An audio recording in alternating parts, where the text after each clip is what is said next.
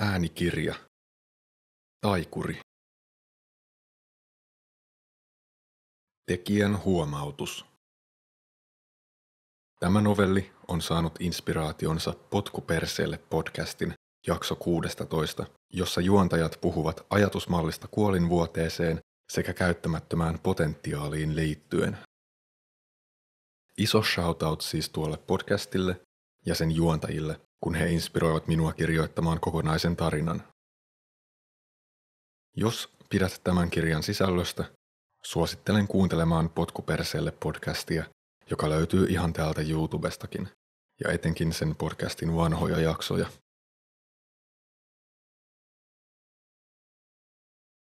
Luku 1. Epäonnistunut elämäni. Elin käytännössä juuri sellaista tilannetta, mitä pelkäsin. Elämää, jota olin pelännyt jo nuoresta aikuisesta lähtien. Vuosi oli, uskomatonta mutta totta, 2024. Aivan kuin jostain pahuksen tieteiskirjallisuudesta. Olin 70. Olin tallannut palloa heittämällä yli elinajan odotteen, mutta olin taatusti lähempänä puuarkkua kuin pinnasänkyä. Toisen jalkani voisi kaiketi jo sanoa olevan haudassa, vaikkei kumpikaan kinttu enää juurikaan liikkunut. Jos en maannut vuoteessa, jalkeilla oleminen kohdallani tarkoitti pyörätuolissa istumista. En ollut halvaantunut, mutta jo sen verran rapistunut, että liikkuminen alkoi olla ylivoimainen suoritus. Hälyttävään tilaan rappeutuneen kuntoni takia en voinut enää asua kotitalossani esikaupungissa – Asuin nykyään kunnalliskodissa, toisin sanoen vanhaintalossa, tai kuten jotkut vielä tänäkin päivänä puhuivat, vaivaistalossa. Ne olivat kaatopaikkoja, joihin vanhat ja sairaat hylättiin elämään viimeiset kurjat elinvuotensa, lähinnä vuoteissa maaten kuin ruumiit.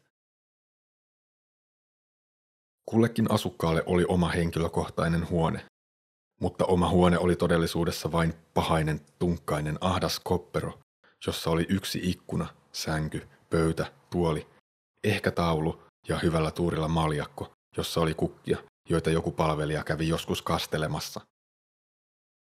Toisinaan kävi siivojakin pölyt pyyhkäisemässä. Siivoja, vaikka saikin paikat puhtaiksi, ei silti pystynyt poistamaan huoneesta homeen sekä ummehtuneen lääkepurnukan hajua, eikä yleistä eltaantunutta sisäilman katkua. Tämän kunnalliskodin hoitajaneidot ja rouvat pitivät meitä asukkaita kurissa ja Herran nuhteessa. Olimme menettäneet kaiken päätäntävaltamme heidän käsiinsä. He auttoivat meitä peseytymään, mutta määräsivät pesulla käymisen ajankohdan. He syöttivät meitä, jos meillä ei ollut voimaa viedä lusikkaa suuhun, mutta kukaan heistä ei koskaan kysynyt, mitä ruokaa haluaisimme. Jälkiruoksi nautittiin päivittäinen annos kipulääkkeitä, maistui tai ei. Hyvä, etteivät hoitajat valinneet vaatteita puolestamme, mitä puimme yllemme. Vaikka väliäkö vaatteella, sillä lähinnä meidät aterioiden ja kylpytuokioiden ohella köytettiin sänkyihimme kiinni vapaa-aikaamme viettämään. Ei nyt kirjaimellisesti köytetty, mutta kuitenkin hoputettiin kädellä huiskien. Menkääpäs herra sinne petiin nyt hopi hopi lepäilemään kaikessa rauhassa.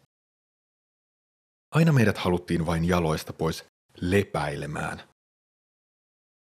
Siinä meitä sänkyihin lepäilemään asetellessaan hoitajarouvat sitten jutustelivat meille lämpimiä hellyttävällä äänensävyllä kuin jollekin pahuksen vajaamieliselle lapsille, ennen kuin telkäsivät huoneidemme ovet lukkosalvat naksahtaen kiinni.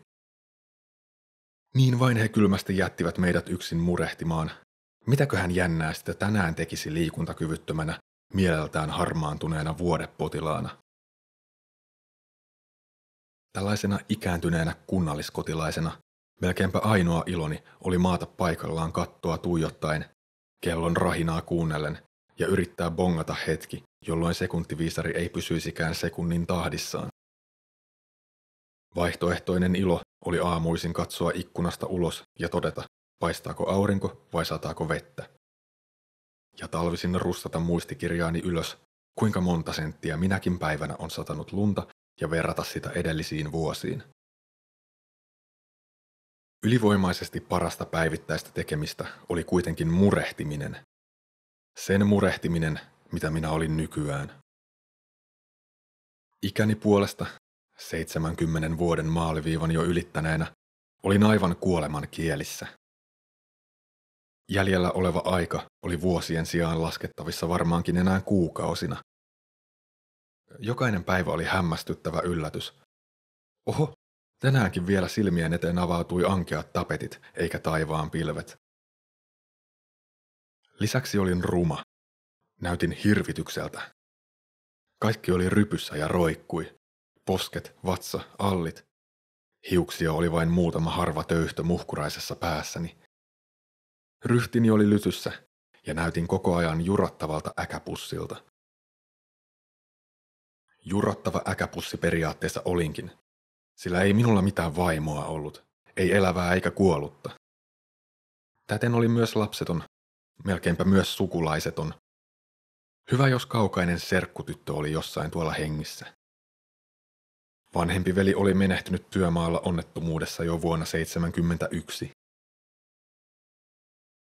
En minä nuorempana mitään emäntiä ennättänyt tanssiaisista saatille raahata ja lapsia siittää tänne pyörimään. Vuodet olivat kuluneet tehtaassa pitkiä päiviä painaessa. Ei siinä paljoa missään viihteellä käyty, vaan päivällä töissä ja illalla kotona nukkumassa. Pyörin tuossa samassa tehdastyössä 44 vuotta, nauttimatta yhdestäkään päivästä. Ei ollut palkkakaan kovinkaan kummoinen ollut, Jäi matkatoimistojen esitteistä keikistelevät aurinkorantojen senioriittat näkemättä. Siinä ne vuodet vaan suhahtivat ohi suun, mitään tajuamatta. Paitsi sen tajuten, että yhtäkkiä löysinkin itseni täältä vihoviimeisestä rotankolosta sängyssä makaamasta ja miettimästä. Miten ihmeessä olin saattanut tuhlata koko elämäni jossain likaisissa haalareissani vihaamassani työssä pyörien? Miksi olin tyytynyt niin huonoon? Miksi en ollut tehnyt mitään kohentaakseni oloani? Miksi olin käyttänyt koko elämäni jossain pirskatin tehtaassa huoltamassa ja asentamassa koneita? Ei se ollut lähellekään sitä, mistä minä nautin. Minun intohimojani olivat matematiikka ja taiden maalaaminen. Unelmani olisi ollut työllistyä joko taiteen tai matematiikan parissa. Miksi ihmeessä en ollut viitsinyt ottaa laskutikkua käteen, saati sivelintä sormien väliin, vaan tyytynyt vuodesta toiseen pyörittelemään jotain pirskatin venttiileitä. Kai minä muka olin sitten ollut jotenkin liian väsynyt toteuttamaan itseäni tehtaassa työskentelyn takia.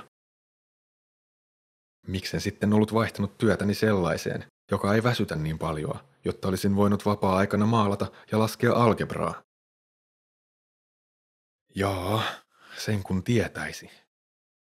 Eipä minulla ole tuohon mitään selitystä. Olin kai vain hölmö. Hyvin hölmö. Ajattelematon ainakin. Ja siksi nykyään pelkkä katkera kitisiä.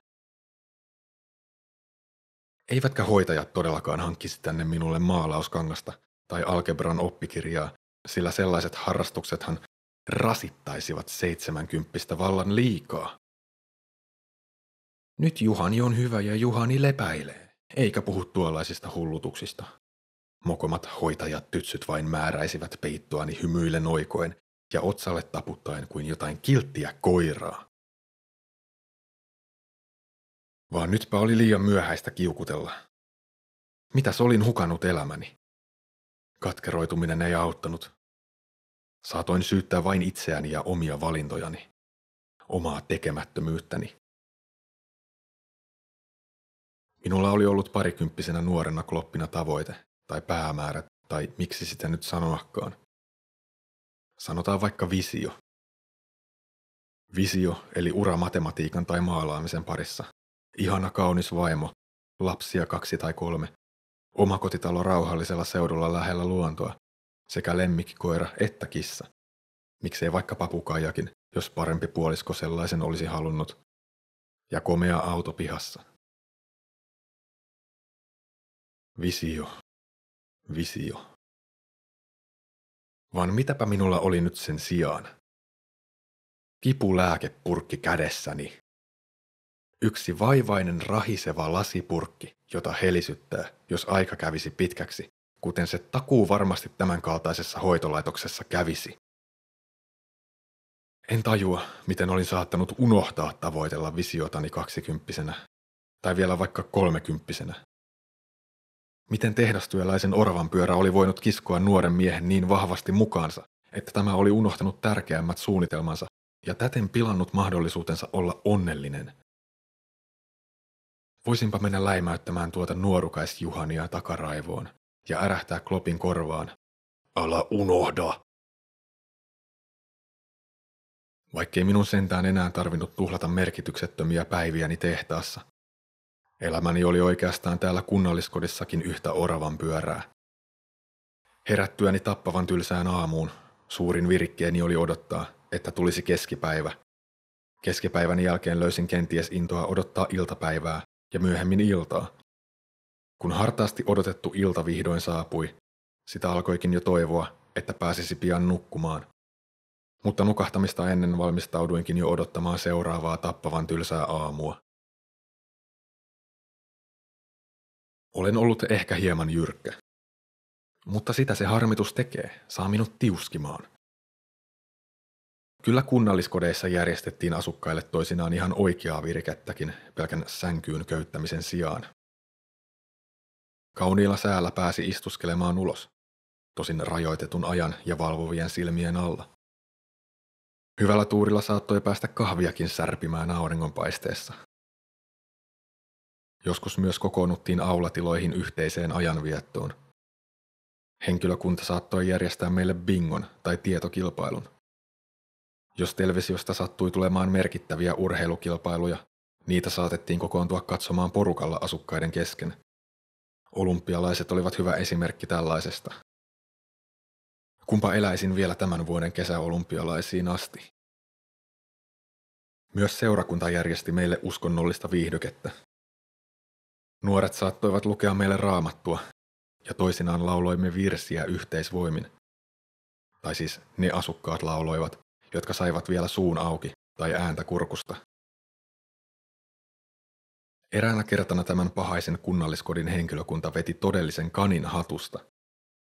He olivat nimittäin tilanneet taikurin meille esiintymään viihdykkeeksi. Asukkaat ohjattiin hyvissä ajoin aulaan ennen taikurin esitystä.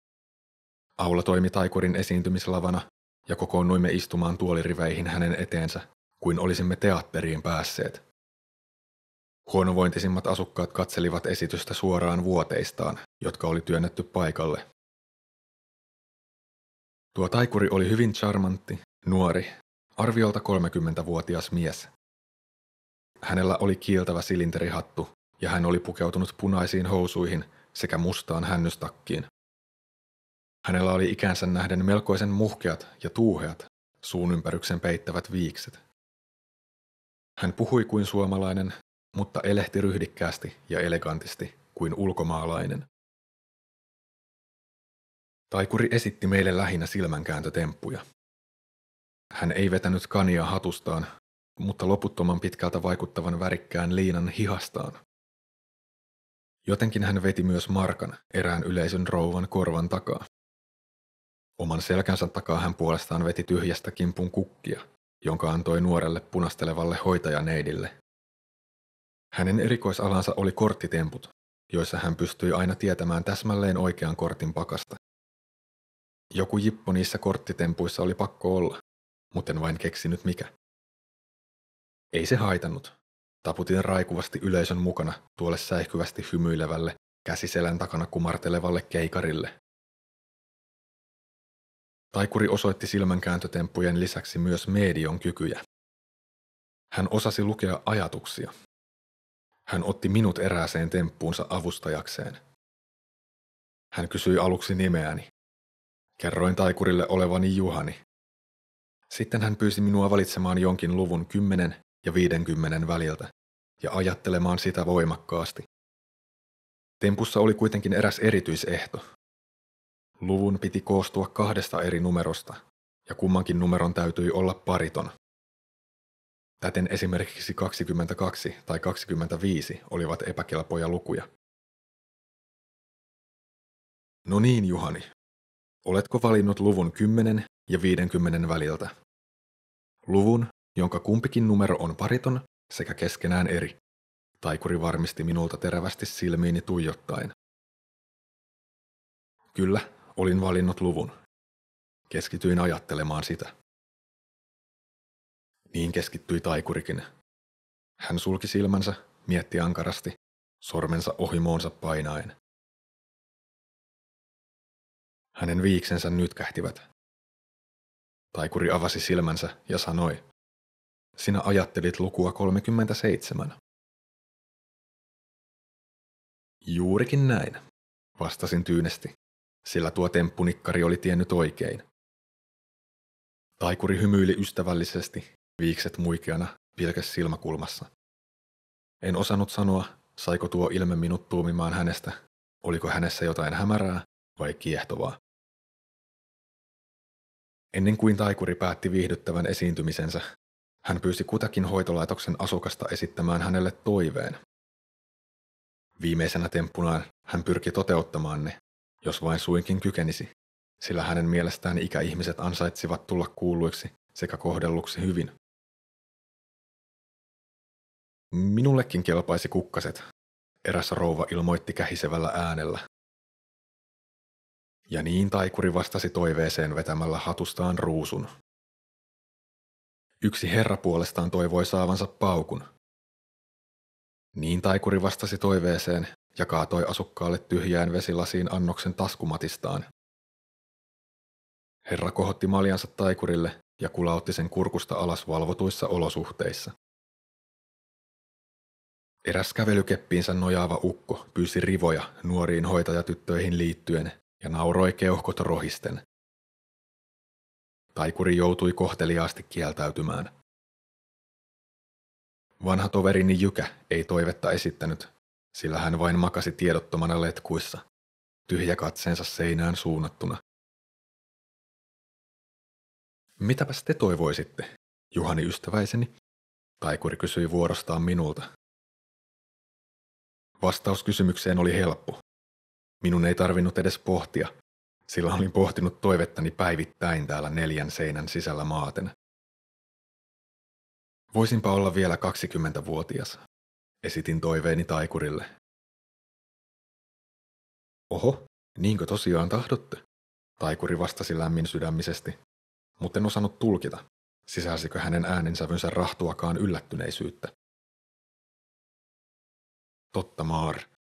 Toivon sitä enemmän kuin mitään muuta. Vastasin taikurille jämptisti nyökäten, roikkuva iho kasvoissani. Miksi mahdatte nuoruuden perään haikailla niin kovasti? Taikuri tiedusteli. Tällaisessa vankilassa viimeisellä vuoteellaan päivästä toiseen yksin maatessa. Sitä kerkeää ajatella kaiken näköistä. Minusta tuntuu, että olen hukannut aikani. Sain lahjaksi elämän, mutten käyttänyt elämääni tekemällä sellaisia asioita, mitä olisin todellisuudessa halunnut. Nyt kadun ja toivoisin uutta mahdollisuutta, vastasin taikurille. Hän katseli ja kuunteli minua tarkkaavaisena. Katsos, sängyssäni maatessa. Minä huomaan tahtomattani kuvittelevani erään ikävän näyn. Näen huomattavasti nuoremman itseni avaavan hoitohuoneeni oven ja astelevan sänkyni viereen. Se on ikään kuin eri versio minusta. Potentiaalinen versio nuoresta minusta, joka minusta olisi voinut tulla parhaimmillaan. Sitten tuo nuorempi Juhani alkaa jutella minulle. Hän kertoo, miten saavutti unelmansa taidemaalarina ja matemaatikkona, koska muisti käyttää intohimojensa toteuttamiseen joka päivä aikaa. Hän näyttää, miten rakensi unelmiensa talon ja löysi ihastuttavan vaimon, koska ahkeroi väsymättä haluamansa eteen. Tuo nuorempi Juhani suorastaan hieroo naamaani kuin märkää rättiä sitä, mitä minusta ei tullut, vain siksi, etten viitsinyt nähdä vaivaa päämäärieni eteen. Ja tuon näyn nähdessäni, näen sitä säännöllisesti, näen tasaisin väliajoin hukkaamani potentiaalin kuolen vuoteeni vieressä. Tuo onnistuneempi Juhani esittelee, miten hienoja maalauksia olisinkaan voinut maalata, jos vain olisin viitsinyt aloittaa maalaamisen. Hän kertoo, miten mukavaa tyttöjä olikaan tavata, jos vain olisin lakannut väittämästä itselleni, että olin muka liian väsynyt lähtemään ulos. Hän ihmettelee käsiään levitellen, miten saatoin vuosikymmeniä masentaa ja uuvuttaa itseäni tehdastöissä, joista en pitänyt alkuunkaan, ja täten antaa hölmönä elämän tarjoamien kultahippujen valua käsistäni pois kuin liukkaan saippuan. Nuorempi Juhani katsoo minua säälien. Hän on kylmä. Hän pudistaa hitaasti päätään ja poistuu haluamatta enää nähdä minua silmissään. Ja minä tunnen oloni pimeäksi, lyödyksi. Rukoilen, että voisinpa olla jälleen nuori. Anelen, että tekisin mitä vain, jos vain jotenkin saisin uuden mahdollisuuden olla nuori ja täten tulla parhaaksi, potentiaalisimmaksi versioksi itsestäni. Sen sijaan, että tulisin tällaiseksi kärttyiseksi, hukattua elämää surkuttelevaksi, pian menehtyväksi katkeraksi kiukkupussiksi. Avauduin taikurille palakurkkuun nousten. Ymmärsinkö siis oikein, Juhani ystäväiseni? Toivoisitte, että voisitte olla jälleen nuori, koska tämä epäonnistuneen tuntuinen elämä kunnalliskodissa on se, mitä pelkäätte, ja eniten olisitte halunneet välttää. Taikuri arveli kulmia kurtistaen. Täsmälleen, vastasin vauhkona. Myisin vaikka sieluni, jos vain jollain ihmeellä saisin uuden mahdollisuuden olla se versio minusta, joka vuoteeni vieressä kummittelee. Lupailin. No, no, sielun kaupoille teidän ei tarvitse sentään ryhtyä, taikuri toppuutteli naurahtain. Toiveenne on sen verran sympaattinen, että se ansaitsee toteutua ilmaiseksikin, hän lisäsi, muikea hymy viiksiensä alta esiin puskien. Miten? Eihän aikaa voi kääntää taaksepäin silmänkääntötempuilla, ihmettelin. Tässäpä taikatempussa ei ole kyse temppukirjasta opitusta kikkasesta. Tässä tempussa on kyse tajuamisesta. Tämä taikatemppu onnistuu, kun tajuatte, Juhaniseni, taikuri sanoi ja laski käden olalleni. Tajuan mitä? Kysyin hämmentyneenä. Kun tajuat sen, että loit päässäsi mielikuvan itsestäsi vanhana ukkona, makaamassa kuolin vuoteella, näkemässä hukatun potentiaalisi vieressäsi, toivomassa voivasi olla tuo nuori sinä uudestaan. Kun tajuat sen, että nyt sinä olet juuri nyt tällä hetkellä tuo kuolinvuoteltasi takaisin nuoreksi palannut, uuden mahdollisuutensa saanut Juhani, taikuri selitti ja vinkkasi silmää. Häh? kysyin ymmälläni kuin nuoret konsanaan. Hys hys, uskoppa minua vaan, taikuri toppuutteli, jopa hieman töykeästi. Huomasitko muuten, etten teittele sinua enää, koska eihän sinun kaltaisia nuorukaisia teitellä. Niin, ja yksi seikka vielä. Huomenna herättyäsi, tulepahan piipahtamaan kaupungin parhaassa kelloliikkeessä. Hän selitti kuin höyrypää. Kelloliikkeessä, kysyin. Mutta ennen kuin kerkesin esittää enempää kysymyksiä, taikuri heilautti näpsäkästi sauvaansa ja maailma muuttui valkoiseksi, kuin kaikki olisi kadonnut ympäriltäni.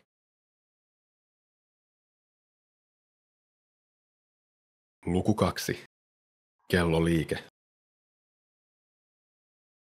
Tunsin oloni oudoksi. Päässäni huippasi, mutta ikään kuin hyvällä tavalla. Olin energinen ja yllättävän notkea. Aamun sarastaessa pystyin ponkaista sängystä jaloilleni kuin vieteriukko laatikosta.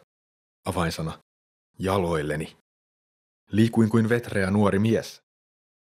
Pyörätuolista tai kolottavista vihlauksista ei ollut tietoakaan, sillä minähän olin vetreä nuori mies. Mikä parasta, en herännyt kunnalliskodin ahtaasta, homeenhajuisesta ankealla tapetilla tapetoidusta huoneesta. Sain ilokseni ja onnekseni jälleen herätä kotikaupungistani Turusta, ensimmäisestä vuokrayksiöstäni, johon olin taannoin muuttanut lapsuuden kodistani. Olin riemuissani. Se oli hankala uskoa todeksi, mutta peili ei valehdellut.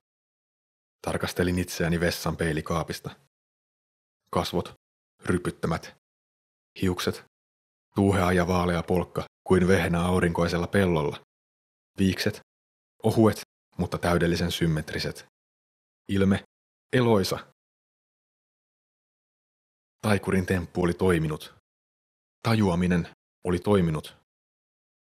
Hoitolaitoksessa jurottava 70-vuotias Juhani oli pelkästään kammottava mielikuva verrattuna tähän komeaan, veijarimaiseen, nuoreen mieheen, joka katseli minua peilistä juuri nyt takaisin.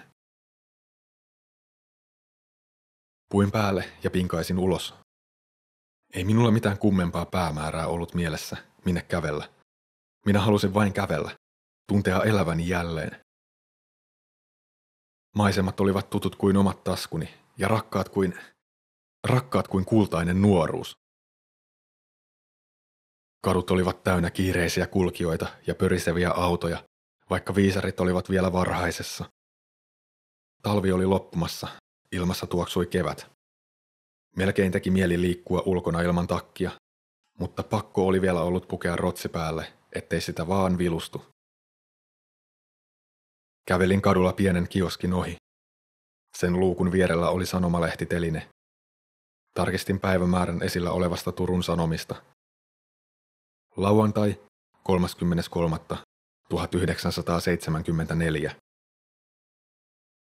Herran pieksut. Tuntuipa mainiolta, suuremmoiselta suorastaan, tajuta olevansa vasta 20-vuotias eikä 70. Jatkoin matkaani eteenpäin suorastaan iloisesti hypähdellen. Kioskin pitäjäkin kurkkasi luukustaan kummastellen perääni, varmaan miettien, mikä sai miehen noin kovin pomppimaan. Toiveiden toteutuminen tietty. Pyh, moukka. Kuulin jonkun ohikulkijan tuhahtavan päätään pudistellen. Huomasin tämän katselevan minua pitkin nenävarttaan. Mutta minä poikase vain hyppelin jäästä sulavaa Aurajoen vartta pitkin matkoihini. Mitäpä väliä, jos joku moukitteli. Koko maailma oli jälleen pelikenttäni. Minua ei paljon kiinnostanut, mitä muut ajattelivat. Olin niin iloinen tajutessani olevani takaisin kaukana vanhassa hyvässä ajassa. Oli se taikuri tehnyt kyllä melkoisen tempun. Se veijari ei ollut mikään pelkkä silmänkääntäjä tai pelikorttien pihistäjä. Yhtäkkiä muistinkin hänen viimeisimmät sanansa. Tulepahan piipahtamaan kaupungin parhaassa kelloliikkeessä. Suuntasin oikopäätä Aurajoen yli ja pikaisesti läpi keskustan. Matkaa piti taivaltaa vielä Aninkaisten sillan yli, ja kipaisin tuon valtavan kaarevan autotien ylittävän sillan miltei hölkäten. Toisella puolella nimittäin paikallinen kelloseppä piti puotiaan. Seppä korjasi rikkinäisiä kelloja, ja lisäksi hänellä oli pieni myymälä, jossa myytiin niin rannekelloja kuin taskunauriitakin. Kaiketi taikuri oli kaupungin parhaalla kelloliikkeellä tuota kyseistä paikkaa tarkoittanut.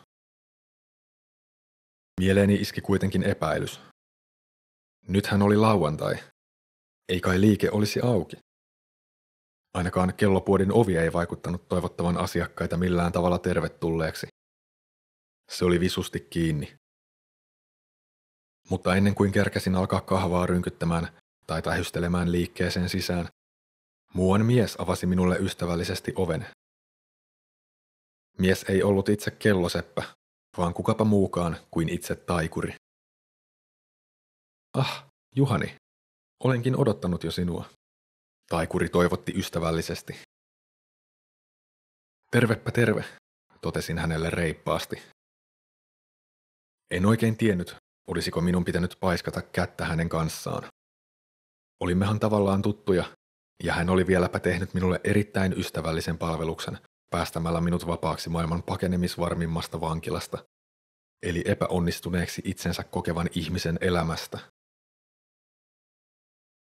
Kohteliaisuusseikat kuitenkin korjaantuivat kuin itsestään. Ei minulla ollut tilaisuutta oikeastaan paiskata kättä, sillä taikuri viittoi minut ystävällisesti sisään liikkeeseen. Jäin kuitenkin katselemaan häntä ehkä hieman epäkohteliaan uteliaasti. Taikuri nimittäin näytti täsmälleen samalta kuin 50 vuotta sitten tulevaisuudessa, tai siis 50 vuoden päästä vuonna 2024. Miten sen nyt ilmaisisikaan? Hän ei ollut nuorentunut eikä vanhentunut päivääkään. Hän oli aivan yhtä charmantti, elegantti, ryhdikäs, muhkeaviiksinen, arviolta 30 kesäinen mies. Tällä kertaa hän vain ei ollut pukeutunut silinterihattuun tai hännystakkiin. Hän oli sen sijaan kammannut lyhyet hiuksensa siististi taakse, ja päälleen pukemansa valkean kauluspaidan päällä oli musta, kuvioitu liivi. Kelloliike puolestaan oli kuin tuon taikurin sielu. Ryhdikäs, siisti, miehekäs mutta hienostunut, selkeästi suomalainen, mutta silti jollain pienellä ulkomaisella vivahteella. Liikkeen värimaailma oli vaalean ruskea kuin taikurin suun ympäryksen peittävät viiksi ja partakarvoituskin. Puotiin sisään astuessa minut valtasi mieluisa, mutta vähän mystinen olo, aivan kuten taikurin seurassakin. Saatat pohtia, Juhani ystäväiseni, mitä minä teen täällä Turussa tällaisessa liikeyrityksessä, tällaisena tuiki tavallisena päivänä? No, minä olen täällä tuuraamassa paikallista kellomestaria, sillä miesparka on potemassa kuumetta kotonaan. Tuuraan kelloseppää aina puoleen päivään saakka, johon hänellä on ollut tapana pitää liikettään auki. Mutta tämä lauantai on ollut varsin hiljainen päivä tähän asti. Kunnes sinä tulit, Juhaniseni, taikuri kertoi ilahtuneena. En kyllä vieläkään tiedä, miksi kutsuit minut tänne, myönsin, ympärilleni hieman katsellen. Kutsuun on varsin yksinkertainen syy. Haluan näyttää sinulle jotain. Kyse ei ole varsinaisesta taikatempusta, vaan pikemminkin eräänlaisesta taikakalusta. Amuletista, joku voisi jopa liioitellen sanoa. Nimittäin eräs kummallinen muukalainen toi tänne taannoin varsin erikoisen kellon korjattavaksi. Haluan esitellä sinulle tuon kellon, taikuri kertoi. Hän etsi ja tonki hetken aikaa liikkeen omistajan pöytälaatikoita, kunnes totesi ilahtuneena, ah, ja nosti tiskille hopeisen, pyöreän, antiikkiselta näyttävän taskunauriin. Kellossa oli ketju, jonka voisi kiinnittää vaikkapa farkkujen vyönlenksuun, jotta se pysyisi aina mukana ja tallessa. Mutta tekikö tuolla kellolla mitään, sillä sen kapeat viisarit eivät liikkuneet lainkaan? Ei, kello ei ole enää rikki. Se on täysin kunnossa. Se vain täytyy vetää käyntiin. Taikuri kiirehti huomauttamaan tulkittuaan arvelevan ilmeeni. Mutta kuten sanoin, kyseessä ei ole suinkaan tavallinen kello, vaan varsin erikoinen kello. Tämän voisi sanoa olevan symbolinen kello, hän lisäsi. Mitä se symboloi? Mietin ääneen. Elämää, taikuri vastasi. Kummastelin kulmat kurtistuen. Elämää ja sen kestoa, hän tarkensi, otti kellon käteensä ja ihaili sitä ikkunasta tulvivaa valoa vasten. Miten? Ihmettelin. Kuvittele, että koko elämäsi on yksi ainoa päivä. Sinun päiväsi, elämäsi, alkaa aamulla, kun herät, ja päättyy illalla, kun käyt nukkumaan. Tämä kello näyttää aikaa ikään kuin, kuin kyseessä olisi elämäsi kesto verrattuna yhteen tavalliseen vapaa päivään. Voit seurata elämäsi kulkua siis tästä kellosta. Mutta ensin se täytyy virittää käyntiin. Kello siis. Tai miksei elämäsikin. Niin, tuota, mihinkäs aikaan sinä yleensä heräät vapaa-päivinäsi, Juhani ystäväiseni? Taikuri kyseli, samalla kun alkoi puuhastella kellon parissa. Hän otti pienen ruuvimeisselin ja tähtäsi sen kärjen pienen pieneen ruuviin toinen silmä kiinni. Noin kello kahdeksan, vastasin aika lailla totuuden mukaan, taikurin ruuvatessa kellon takakantta auki. Selvä, selvä, taikuri nyökkäili ja siirteli viisareita varovasti näyttämään kahdeksaa. Entäs mihinkäs aikaan sinä tavallisesti käyt vapaapäivinäsi nukkumaan? Usein siinä kymmenen nurkilla, vastasin. Aivan, aivan mainiota. Entäpäs Kuinka vanhaksi arvelet eläväsi, Juhaniseni? Olethan sinä tavannut minut jo viimeisinä hetkinäni, luulen, että sinne seitsemänkymppiseksi pystyn sinnitellä, mutten paljoa siitä pidemmälle, totesin vastaukseksi. Olkoon asia sitten niin. Kysynpä vielä, kuinka vanha sinä olitkaan nyt? 20, sanoin. Tuntui taivaalliselta sanoa se vanhaintalossa elettyjen vuosien jälkeen. Tehdäänpä siis pieni yhteenveto, taikuri totesi ilahtuen. Sinä arvelet tyypillisen vapaapäiväsi kestävän aamu kahdeksasta ilta kymmeneen. Yhteensä 14 tuntia. Sinä arvelet eläväsi komeaan 70 ikävuoteen asti ja olet nyt kaksikymppinen. Jos siis sanotaan, että 70 ikävuotta on yhtä suuri kuin 14 tuntia tässä kellossa, montako vuotta yksi tunti kestää? Panepas laskien, kun matematiikan ystävä käsittääkseni olet, taikuri ohjeisti. Päässäni alkoi raksuttaa. 14 oli kätevästi jaollinen seitsemällä ja täten myös seitsemällä kymmenellä. Vastaus oli 0,2. Yksi ikävuosi vastasi siis viidesosa tuntia, joka teki 12 minuuttia. Täten viisi ikävuotta teki kokonaisen tunnin. Kellon yksi tunti symboloi viittä vuotta, vastasin taikurille.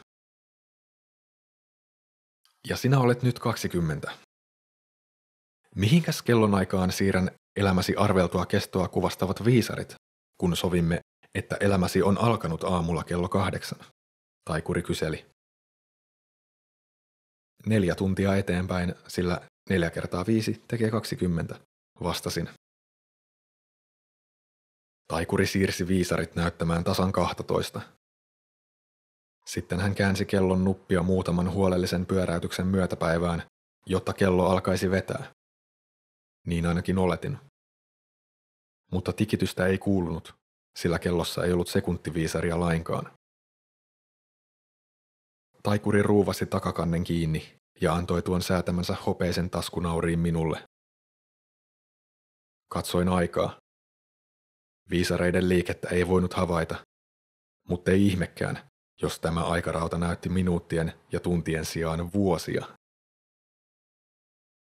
Jotain kummallista taikuri oli kelloon saanut viriteltyä. Sen tauluun oli nimittäin piirtynyt punainen sektori kahdeksan ja kahdentoista välille, ilmeisesti kuvaamaan sitä aikaa, jonka kello oli käynnistymisestään jo kerennyt raksuttaa. Arvelin punaisen alueen vain laajenevan ja laajenevan, mitä pidemmälle kello kerkeäisi käydä. Kun tuntiviisari saavuttaisi kahdeksan, ehkä se alkaisi piirtämään edellisen päälle uutta punaista kerrosta, jolloin väristä tulisi jo hälyttävän punainen. Kenties kellon veto loppuisi ja viisarit pysähtyisivät iäksi, lyötyään taas kymmeneen. Juhani ystäväiseni, sinun koko elämäsi syntymästä kuolemaan on kuin yksi vapaa päivä, jonka kuluntua kello näyttää. Vapaapäivästäsi on kulunut jo neljä tuntia. Annoit arvion, että noita vertauskuvallisia tunteja on vielä kymmenen jäljellä. Siksipä kysymykseni kuuluukin.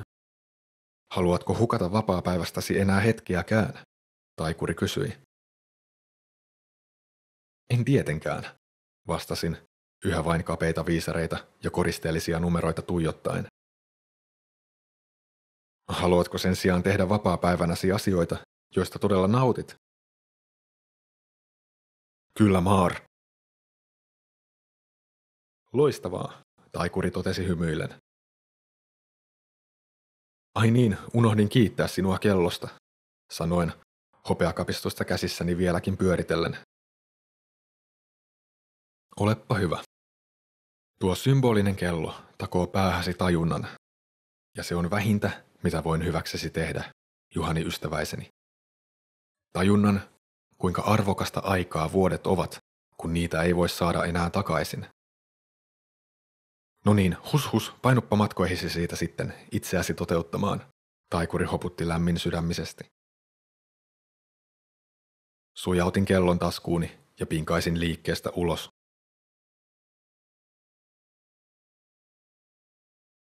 Luku kolme. Taikurin periaate. Nyt oli elämäni mahdollisuus. Tästä eteenpäin jokainen päivä oli mahdollisuus tulla siksi, mistä haaveilin. Miten minulla oli voinut mennä niin kauan oivaltaa se? Oivaltaa, että tästä nimenomaisesta päivästä lähtien minulla oli mahdollisuus tehdä elämästäni iloa niin kauan kuin päiviä riittää. Tai ehkä minun tapauksessani niin kauan kuin tunteja taskunaurissani riittää. Mutta oivallettuani sen, että voin tarttua edessäni leijailevasta mahdollisuudesta kiinni, kunhan vain tartun, vastaani tuli väistämätön ongelma. Ei ollut mitenkään itsestään selvää, miten päästä tavoitteisiini. Jos halusin olla taidemaalari, miten voisin konkreettisesti tulla taidemaalariksi tai matemaatikoksi? Eihän kukaan ole maalari tai matemaatikko noin vain sormia napsauttamalla. Ja oikeastaan, kun tarkemmin mietin, kysyin itseltäni turhia. Keksin itselleni tyhmästi ongelmia, vaikkei olisi tarve. Miten tulla maalariksi? Maalaamalla tietenkin, mitenkä muutenkaan. Entä miten tulla matemaatikoksi? No ei ainakaan murehtimalla, vaan laskemalla tietty. Ei muuta kuin maalaamista harjoittelemaan ja yliopistoon hakemaan paikkaa johonkin sopivaan matemaattis-luonnontieteelliseen tutkintoon. Olin tietyssä mielessä onnekas asuessani Turussa. Turku oli sen verran suuri kaupunki, että täältä löytyi kunnollisia taidetarvikeliikkeitä sekä valtava yliopisto. Maanantaina työpäivän jälkeen suuntasin oikopäätä maalausväline ostoksille. Lompakkoa raottaen ja seteleitä kassatyöntekijälle lätkien ostin itselleni akryylivärisetin, pensseleitä, paletin, kankaita, suttupaperia johon harjoitella ja vielä maalaustelineenkin. Sinne meni karvan alta sata markkaa niin, että hujahti, mutta olin tyytyväinen ostoksiini. Mikäs tuleva Rembrandt se siellä ähkiä puhkuu? Tarvitsetko apua? Joku tuli ivallisesti sekä ystävällisesti kysymään vastatessani maalaustelinettä pieneen autooni. Hän osui kysymyksessään lähemmäs kuin arvasikaan, jos asia minun tahdonvoimastani oli kiinni. Vastasin pärjääväni kyllä yksinkin. Pamautin Datsunini takakontin kiinni ja hurautin seuraavaksi kirjakauppaan. Nappasin sieltä mukaan maalausoppaan sekä pari matematiikan kirjaa, joista toinen keskittyi tilastoihin ja toinen geometriaan sekä trikonometriaan. Ne olivat sellaisia osa-alueita, joita minun ainakin täytyi vahvistaa, mikäli halusin päästä opiskelemaan matematiikkaa yliopistoon. Ja kai trikonometriasta olisi maalaamisessakin hyötyä, jos osaisi laskea kulmia ja etäisyyksiä kappaleiden välillä paremmin. Kirjakaupassa kävi niinkin hassusti, että siellä tuli vastaan tuttuja. Kukapa muukaan kuin itse taikuri hiippaili siellä.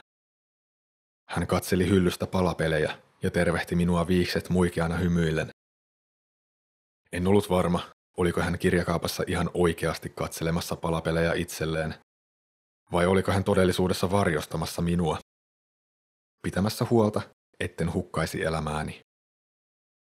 Rypyistään silmiensä alla, jotka johtuivat hymystä, niistä päätellen hän oli tyytyväinen tekemiseeni. Olet oikealla tiellä, Juhani ystäväiseni. Taikuri kannusti minua ja nappasi hyllystä kolmen tuhannen palan palapelin käsiinsä. Unelmat, ne ovat kuin palapelejä. Unelmat täytyy toteuttaa yksi pala kerrallaan rakentaen. Taikuri sanoi palapelilaatikkoa edestä ja takaa tutkaillen. Niinhän se taitaa olla, vastasin taikurille ympäri pyöreästi, mutta kaiketi totuuden mukaisesti. Unelmapalapelin rakentaminen. Se on haastava tehtävä, jota tehdessä maltti täytyy säilyttää, eikä saa hermostua. Mutta voi pojat, kuinka kivaa puuhaa se palojen paikoilleen laittaminen onkaan, kuule se, taikuri totesi reippaana, palapelin takaisin hyllyyn laittaen ja sen kansikuvaa ihaillen. Minäkin tuijotin hetken aikaa palapelin kuvaa. Tuo uusi viiksekäs tuttavuuteni taisi olla symboliikan ystävä. Mutta ennen kuin huomasinkaan, taikuri oli jo tehnyt katoamistempun viereltäni. Pudistin päätäni virnistäen ja menin maksamaan kirjani kassalle. Samalla mietin, Kuinkahan monta palaa minä olin rakentanut valmiiksi, jos visioni olisi kolmen tuhannen palan palapeli? Ehkä kaksi, kolme, neljä? Olin ihan alussa vasta. Mutta aikaa oli runsaasti, kunhan vain muistaisin rakentaa joka päivä. Päätin tehdä itselleni rutiinin, päiväohjelman, jotta varmistaisin, etten hukkaisi mahdollisuuttani, johon olin kuolin vuoteeltani päässyt. Arkipäivisin keskityin töihin. Tehdas oli pakollinen velvollisuus, mikäli mieli killinkä ja taskuun kääriä elämistä varten. Arki-illat saisivat kuitenkin kulua vuoroilloin maalaten ja vuoroin laskien. Lauantaisin keskittyisin koko päivän siveltimen vetoihin, sunnuntaina puolestaan koko päivän numeroiden pyörittelyyn. Simpeliä ja selkeää. Ja näin toimin pitkin kevättä. Jouduin melko pian hiukan kuitenkin rukkaamaan rutiiniani. Toukokuun kuluessa siirsin maalauskamat sivuun ja luin matematiikkaa lampun valossa otsarypyssä aina ilta myöhään. Kesäkuun alussa, varsinaisena pääsykoepäivänä, jännitys oli korkeimmillaan.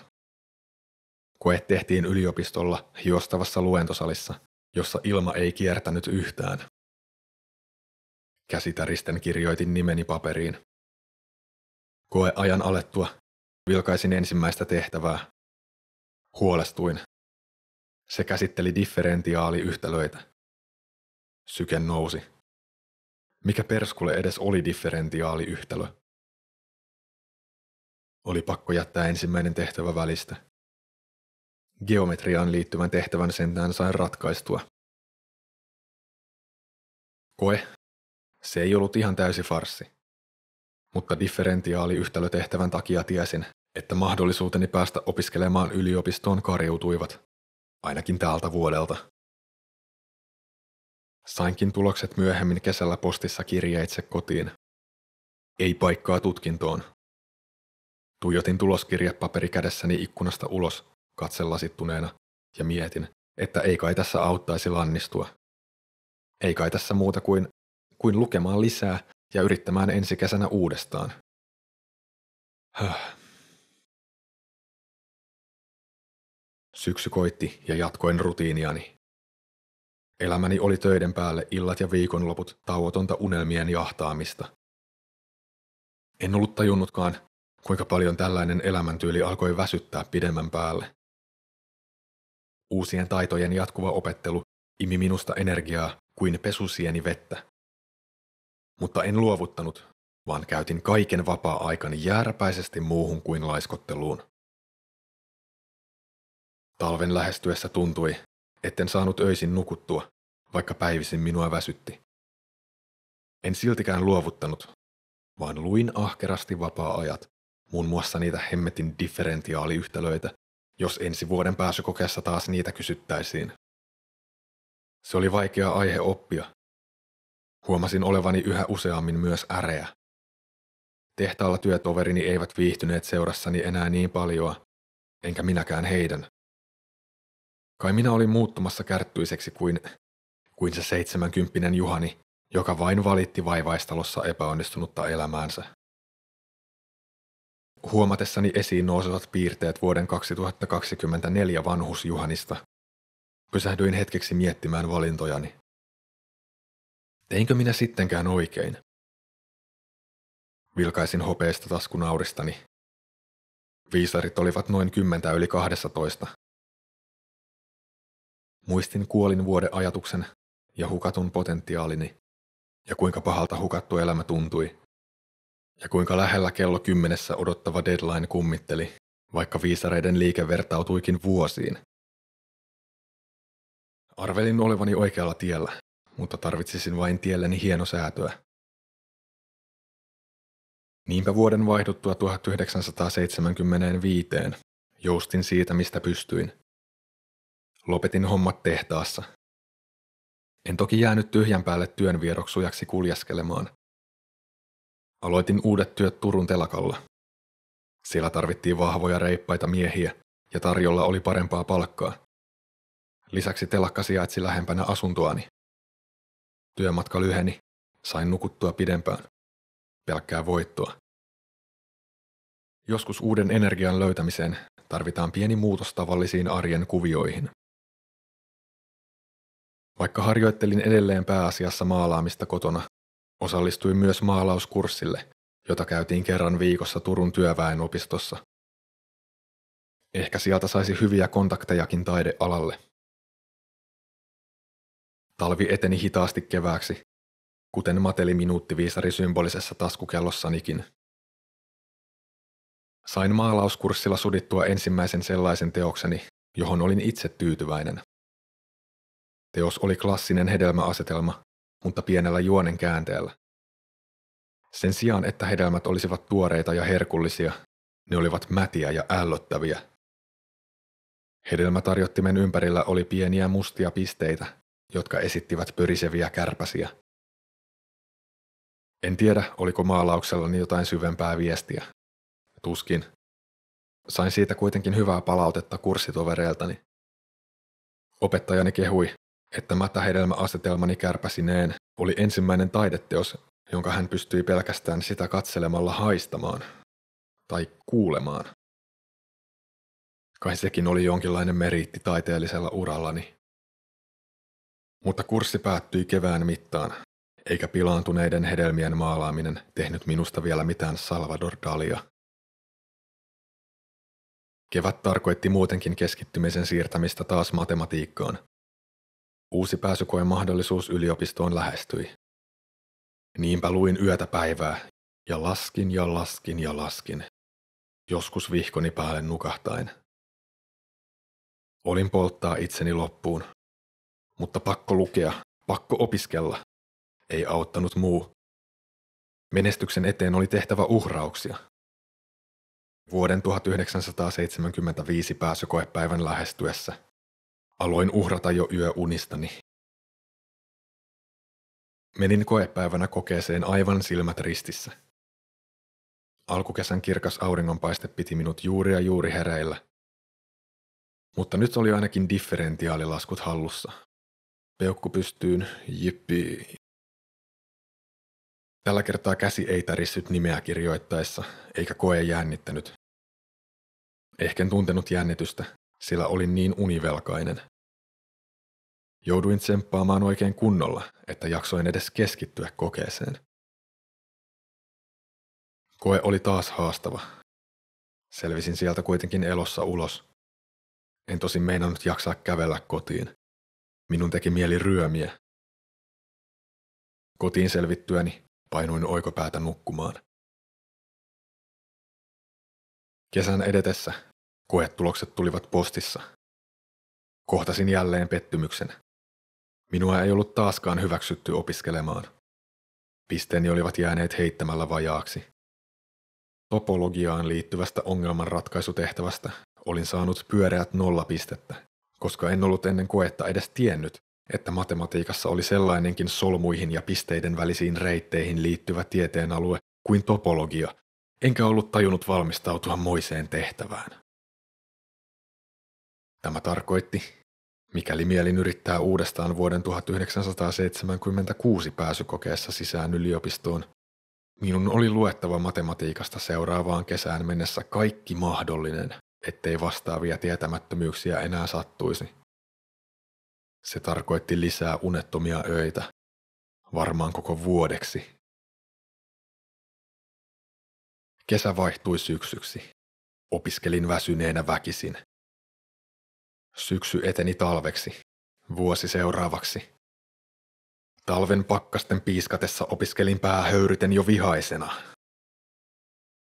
Talvi läheni loppuaan, ja niinhän minä poltin itseni lopulta loppuun. Hermo meni, matematiikan kirja lensi seinään. Naapurit kuulivat kiroiluni.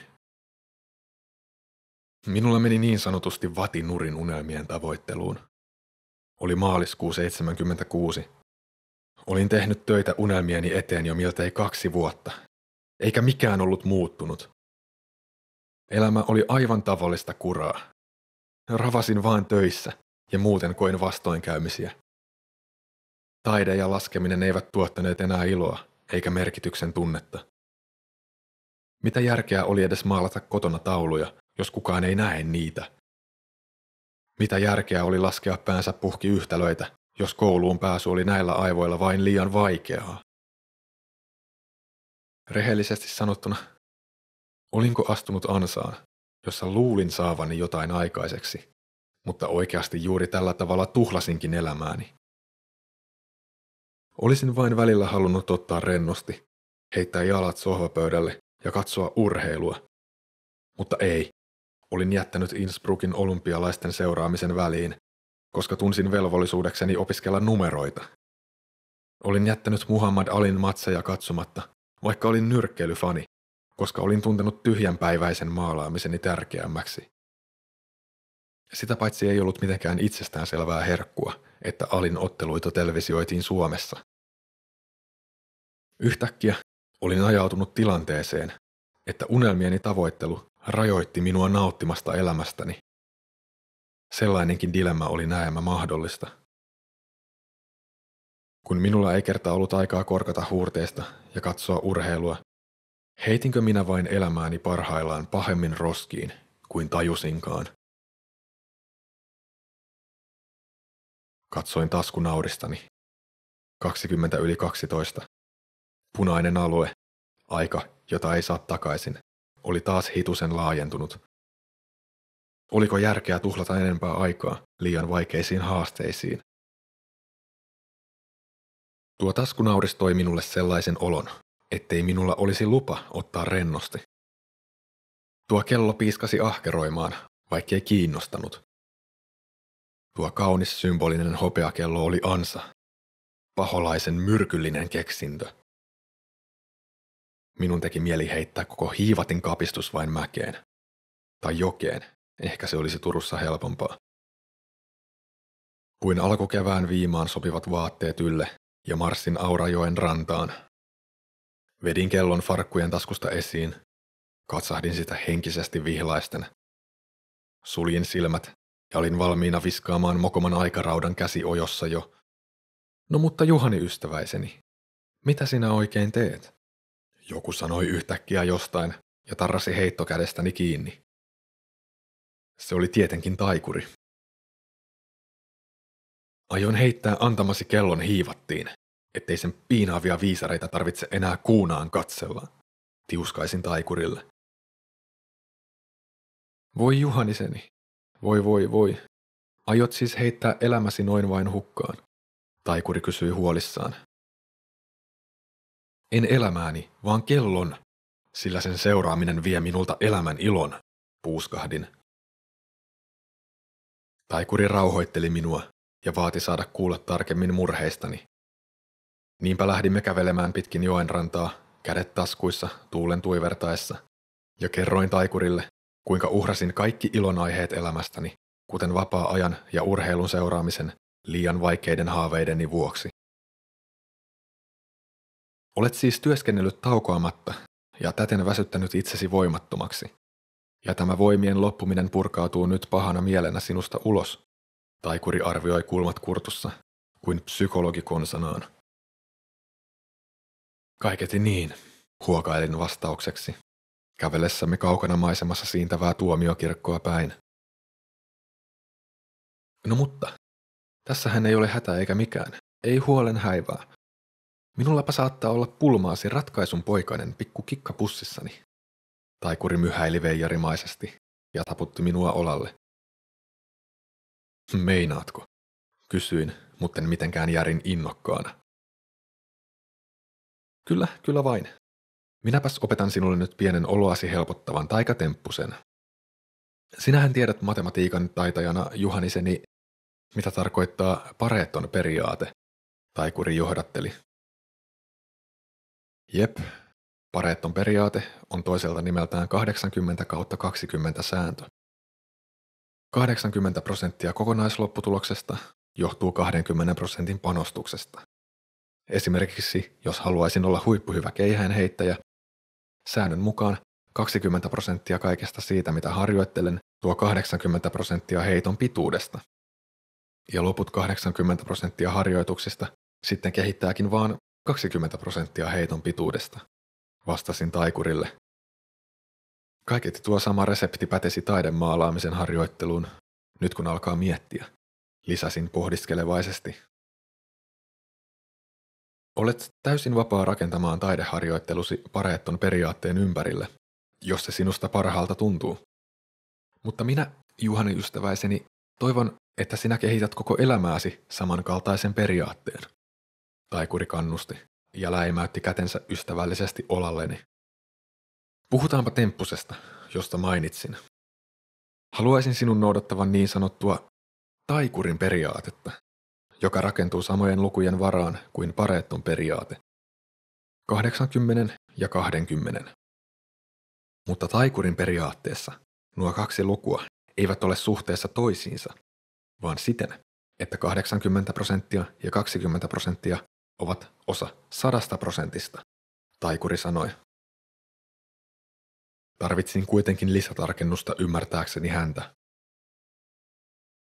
Taikurin periaatteessa valitaan jokin tietty määrä aikaa, esimerkiksi viikko.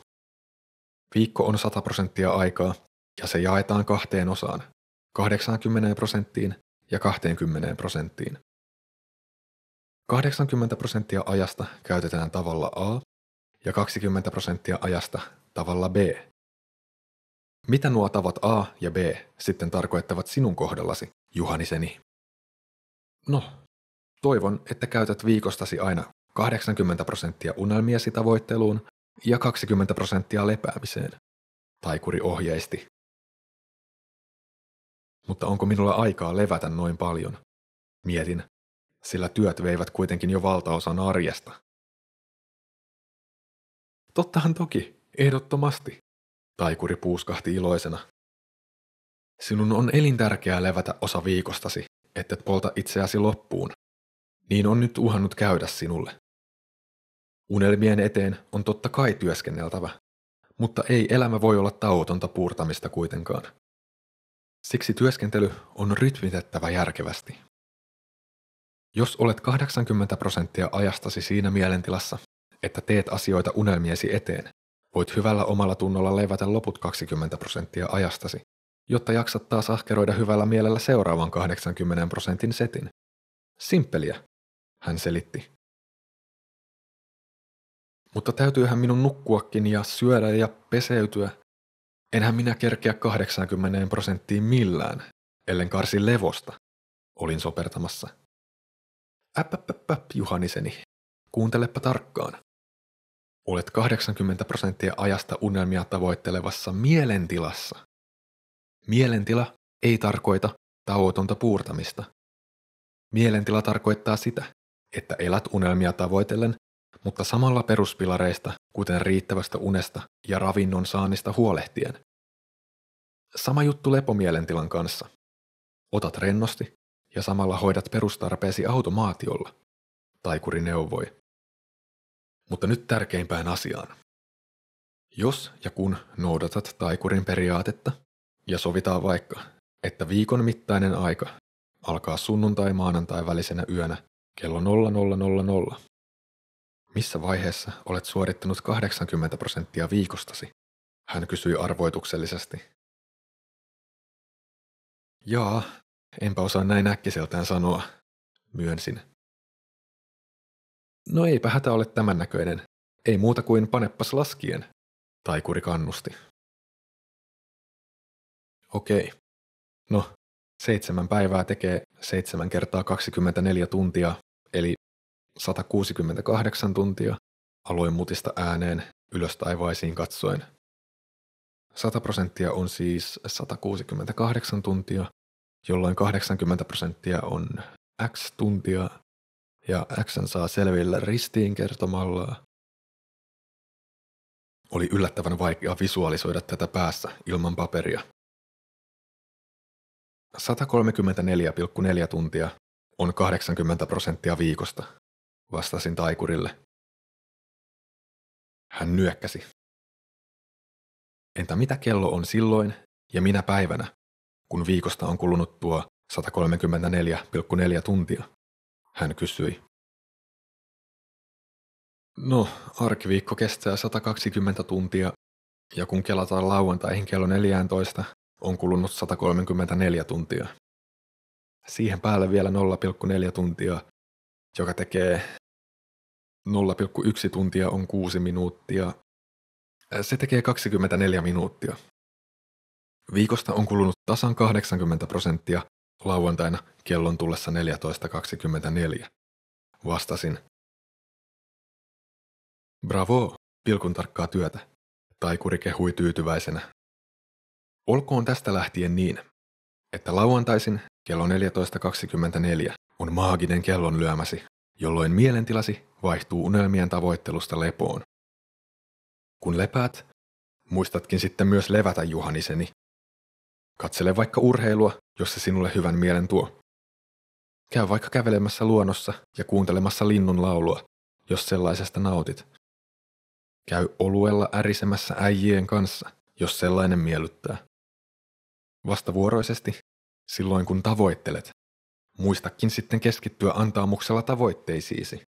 Taikuri ohjeisti ystävällisesti, mutta päättäväisesti. Hän kaivoi povitaskustaan pelikortin. Hertta S.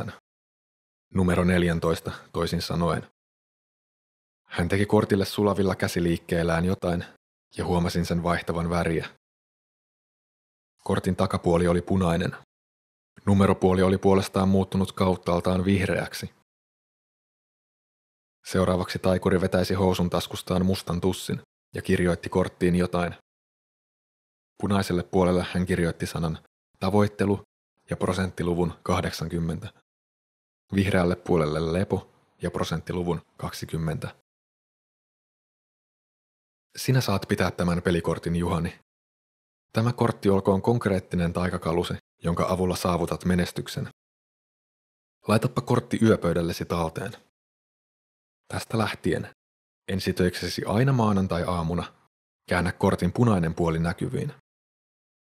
Näkemäsi väri ja numero asettavat mielentilasi unelmien tavoitteluun. Joka lauantai kello 14.24 käännä kortin vihreä puoli ylöspäin. Näkemäsi väri ja numero vaihtavat mielentilasi lepoasentoon.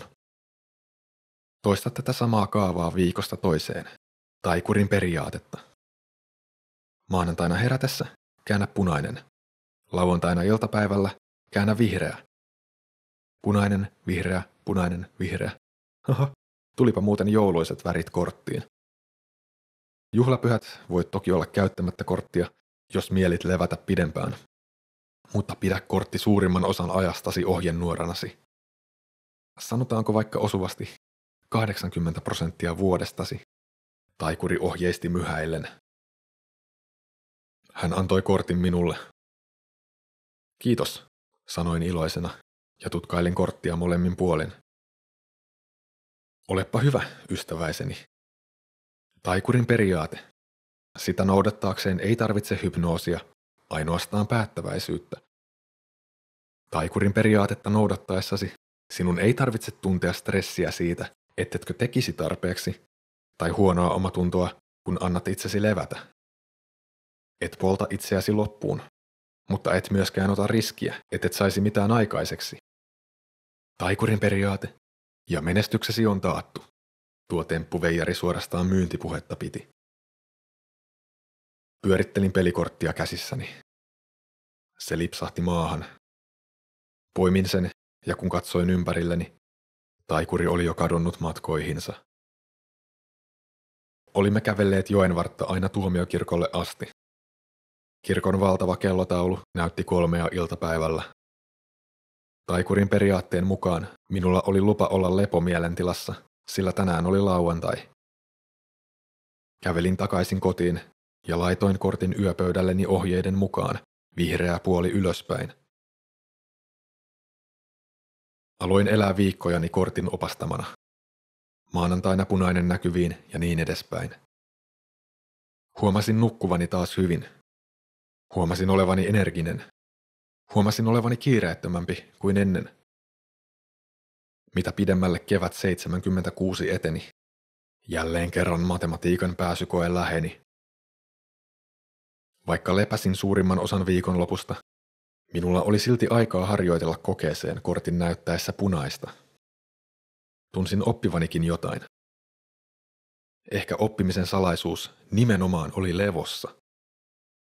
Mutta voiko taikurin periaate muka oikeasti toimia avaimena yliopistoon pääsyyn? Enpä tiedä. Koe olisi taatusti tänäkin vuonna rumasti sanottuna helvetin vaikea. Ja olinhan jo kaksi kertaa käynyt nolaamassa itseni koessalissa. Tiedätkö, mitä kolmas kerta sanoo? Toden.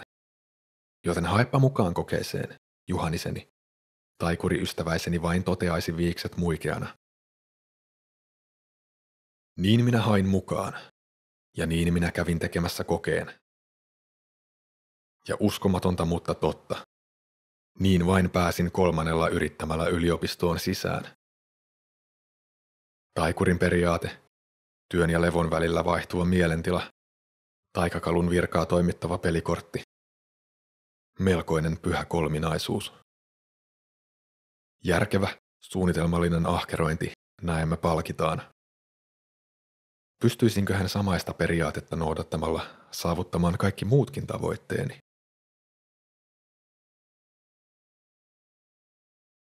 Luku neljä. Tikapuutemppu.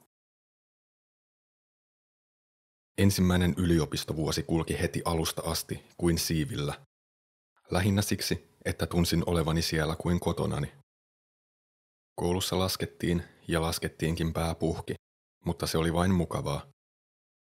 Jouduin toki sovittamaan telakkaduunini ja opinnot melko hankalasti yhteen, mutta mitäpä pienestä lisähaasteesta. Asioillahan oli tapana järjestyä, ja ne järjestyivät, kun niitä järjesti.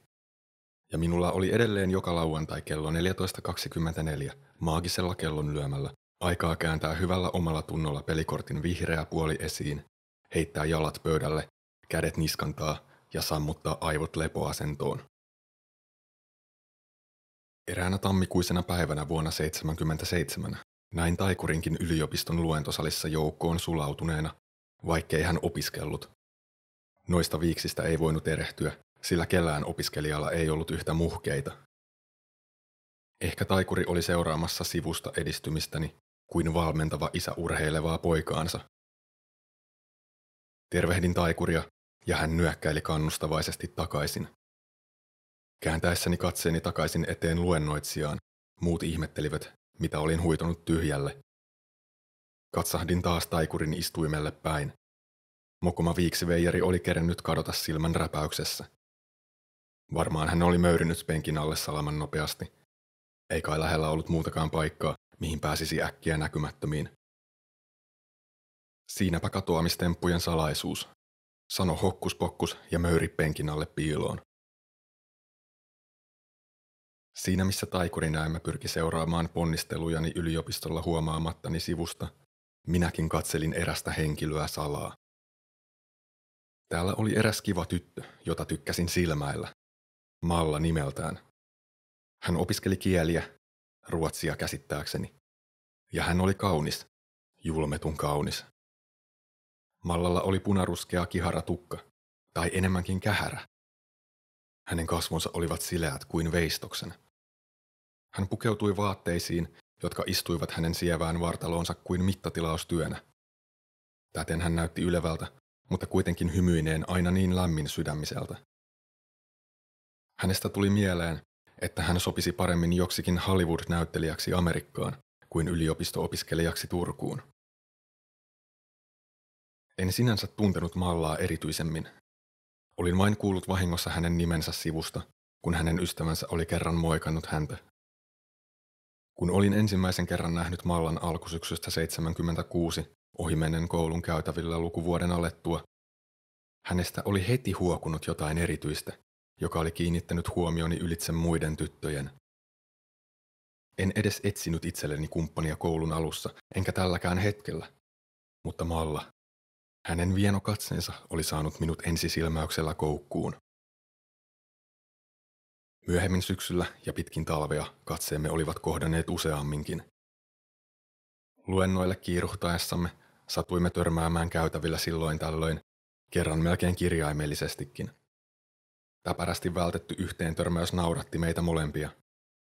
Ja siinä missä minä en saanut katsettani enää irti mallasta, olin melko varma, että hänkin vilkuili minua vaivihkaa. Tai sitten vain toive ajattelin ja luulin itsestäni liikoja. Todennäköisesti niin. Ajattelin häntä usein luennoilla ja iltaisin kotonakin. Niin kai ihastunut ihminen tyypillisesti teki. Kuvittelin yliopiston vieressä kasvaviin puihin ruskan ja mallan kävelevän aamuauringon keltaisessa paisteessa niiden edestä paksu kaulaliina sekä pahvinen kahvimuki lämmikkeenään. Voisin maalata sen melkeinpä taululle ja saman kuvan talviversiona. Emme käyneet Mallan kanssa samoilla kursseilla. Hän tuskin oli pätkääkään kiinnostunut luonnontieteistä, eikä minulla ollut kielipäätä sitten yhtään. Mutta ehkäpä taide olisi yhteinen juttumme. Taulut, maalaukset. Äh, enpä tiedä. Kenties kulttuuri sitten? Mitä jos hän olikin elokuvien fani, jos kerta näytti näyttelijältä? Varmasti olisi. Ehkä voisin viedä hänet elokuviin, jos uskaltaisin.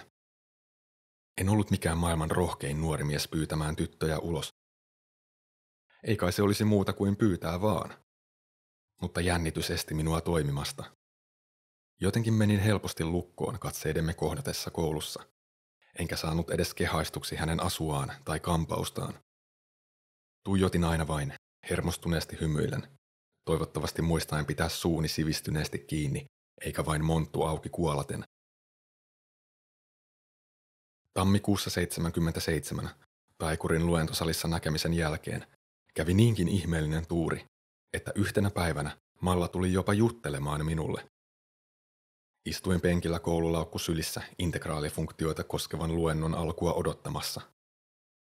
Hei Juhani, Ihastukseni ilmestyi yllättäen kuin tyhjästä ja tervehti iloisena. Hän tiesi jo tässä vaiheessa nimeni, vaikken kulkenutkaan mikään Juhani teepaita päällä ympäriinsä. Hänkin oli varmaan kuullut nimeni ohimennen jossain, tai sitten ottanut sen tietoisesti selville. Miten menee? Hän kysyi lämpimästi ja jäi vierelleni notkumaan, mutta ei istunut alas. He- hei, sain kakaistuksi. Pelkäsin punastuvani. Yritin välttää kasvojen kuumottumista kaikin voimin. Taisin onnistua kohtalaisesti. Onko sinulla kaikki hyvin? Ei kai vain kouluvuosi ole kuormittanut sinua liikaa. Matematiikka taitaa olla aika vaikea ala. Hän tiedusteli, pieni huoli aina niin lämmin sydämisissä kasvoissaan välähtäen. Ehkä näytin pahoin voivalta punastumista vältellessäni. Oikeaan osuit. Opiskelu alkaa näin pitkällä lukuvuotta jo rahtusen kuormittaa. Valehtelin. Tai en edes valehdellut. En tiedä. Yritin vain kuulostaa rennolta. Se taisi jäädä yritykseksi. Mikä luento sinulla on seuraavaksi? Malla kysyi lämpimikseen. Kerroin ja esittelin hänelle myös pikaisesti matematiikan kirjojani. Hän katseli niitä irvistäen, kuin pelkäisi saavansa niistä painajaisia. Hän vitsaili tarvitsevansa henkilökohtaisen tulkin, jos aikoisi oppikirjojani lukea. Minä olin jo viittavailla ritarina ilmoittamassa, kuinka olisin valmis opettamaan hänelle kaiken tarvittavan integraaleista, mutta hillitsin itseni, enkä tärvellyt keskusteluamme. Ja ihan kuin Malla olisi lukenut ajatukseni, kuin hänen ja minun sieluni olisivat olleet samalla aallonpituudella, opettamista ajatellessani, hän kertoi haluavansa valmistua kielten opettajaksi ja kuinka rakastaisi nähdä pienten koululaisten päiden päällä lampujen syttyvän ja ilmeiden kirkastuvan. Mikä sinusta tulee, kun valmistut? Malla kysyi ystävällisesti opettaja haaveistaan sitä sun tätä kerrottuaan. Jaa, sen kun tietäisi. Enpä taida olla ajatellut ihan niin pitkälle, vastasin vaikka tiesin vallan hyvin haluavani olla matemaatikko tai taidemaalari. En vain jotenkin kehdannut sanoa sitä hänelle, vaikka mitä hävettävää sen ääneen sanomisessa muka olisi. Miksikä sinä haluaisit valmistua, jos saisit ihan vapaasti päättää kaikista maailman aloista? Hän jatkoi jutustelua. No, en opettajaksi ainakaan, vitsailin. Se oli oikeastaan tottakin. En tuntenut vetoa opettamiseen millään tavalla, vaikka Mallalle olisin voinut opettaa integraaleista ummet ja lammet. Mutta se johtuikin Mallasta, eikä intohimosta. Ha ha ha. Niinhän ne kaikki sanovat. Malla nauroi vitsailulleni. Se oli hyvä merkki. Kenties jokainen opettaja on opiskeluaikoinaan mennyt vannomaan, että minusta ei muuten varmana sitten tule mitään opettajaa. Ja niin he vain ovat löytäneet itsensä karttakeppi kädessä liitutaulun edestä. Joten olepa tarkkana mitä uhoat, Juhani, ettei vaan kopsahda omaan nilkkaan. Hän varoitti leikkisästi. Täytyy, täytyy olla varoillaan, juu. Sopersin ympäri pyöreästi ja tylsästi vastaukseksi, häntä vain tuijottamaan unohtuneena. Oh, aika rientää. Kääntämisen kurssi alkaa. Minun täytyy kiiruhtaa. Nähdään myöhemmin, Juhani. Malla totesi seinäkelloa vilkaistuaan. Nä, nähdään, sain änkytetyksi. Malla huudahti vielä tsempin toivotukset minulle matkaan pinkaistuaan. Minäkin hänelle, vaikken tiennyt, tarvitsiko hän rohkaisun toivotuksia. Katselin hänen poistumistaan, viehkeän tytön kiiruhtavaista askellusta, silmäni seisoen, sydän aivan pamppaillen. Kukaan tyttö ei ollut koskaan saanut minua tuntemaan samanlaista kihelmöintiä sisuksissa. Olin sata varma, että halusin pyytää Mallan ulos, vaikken edelleenkään mitään elämänkumppania juuri nyt etsinytkään. Jokin selittämätön viehätysvoima hänen kasvoissaan, silmissään, hymyssään, koko olemuksessaan sai minut kuitenkin kiinnostumaan niin kovasti, että välillä oli vaikea ajatella mitään muuta. Mahdoton sitä on kai kontrolloida, kehen tykästyy ja milloin.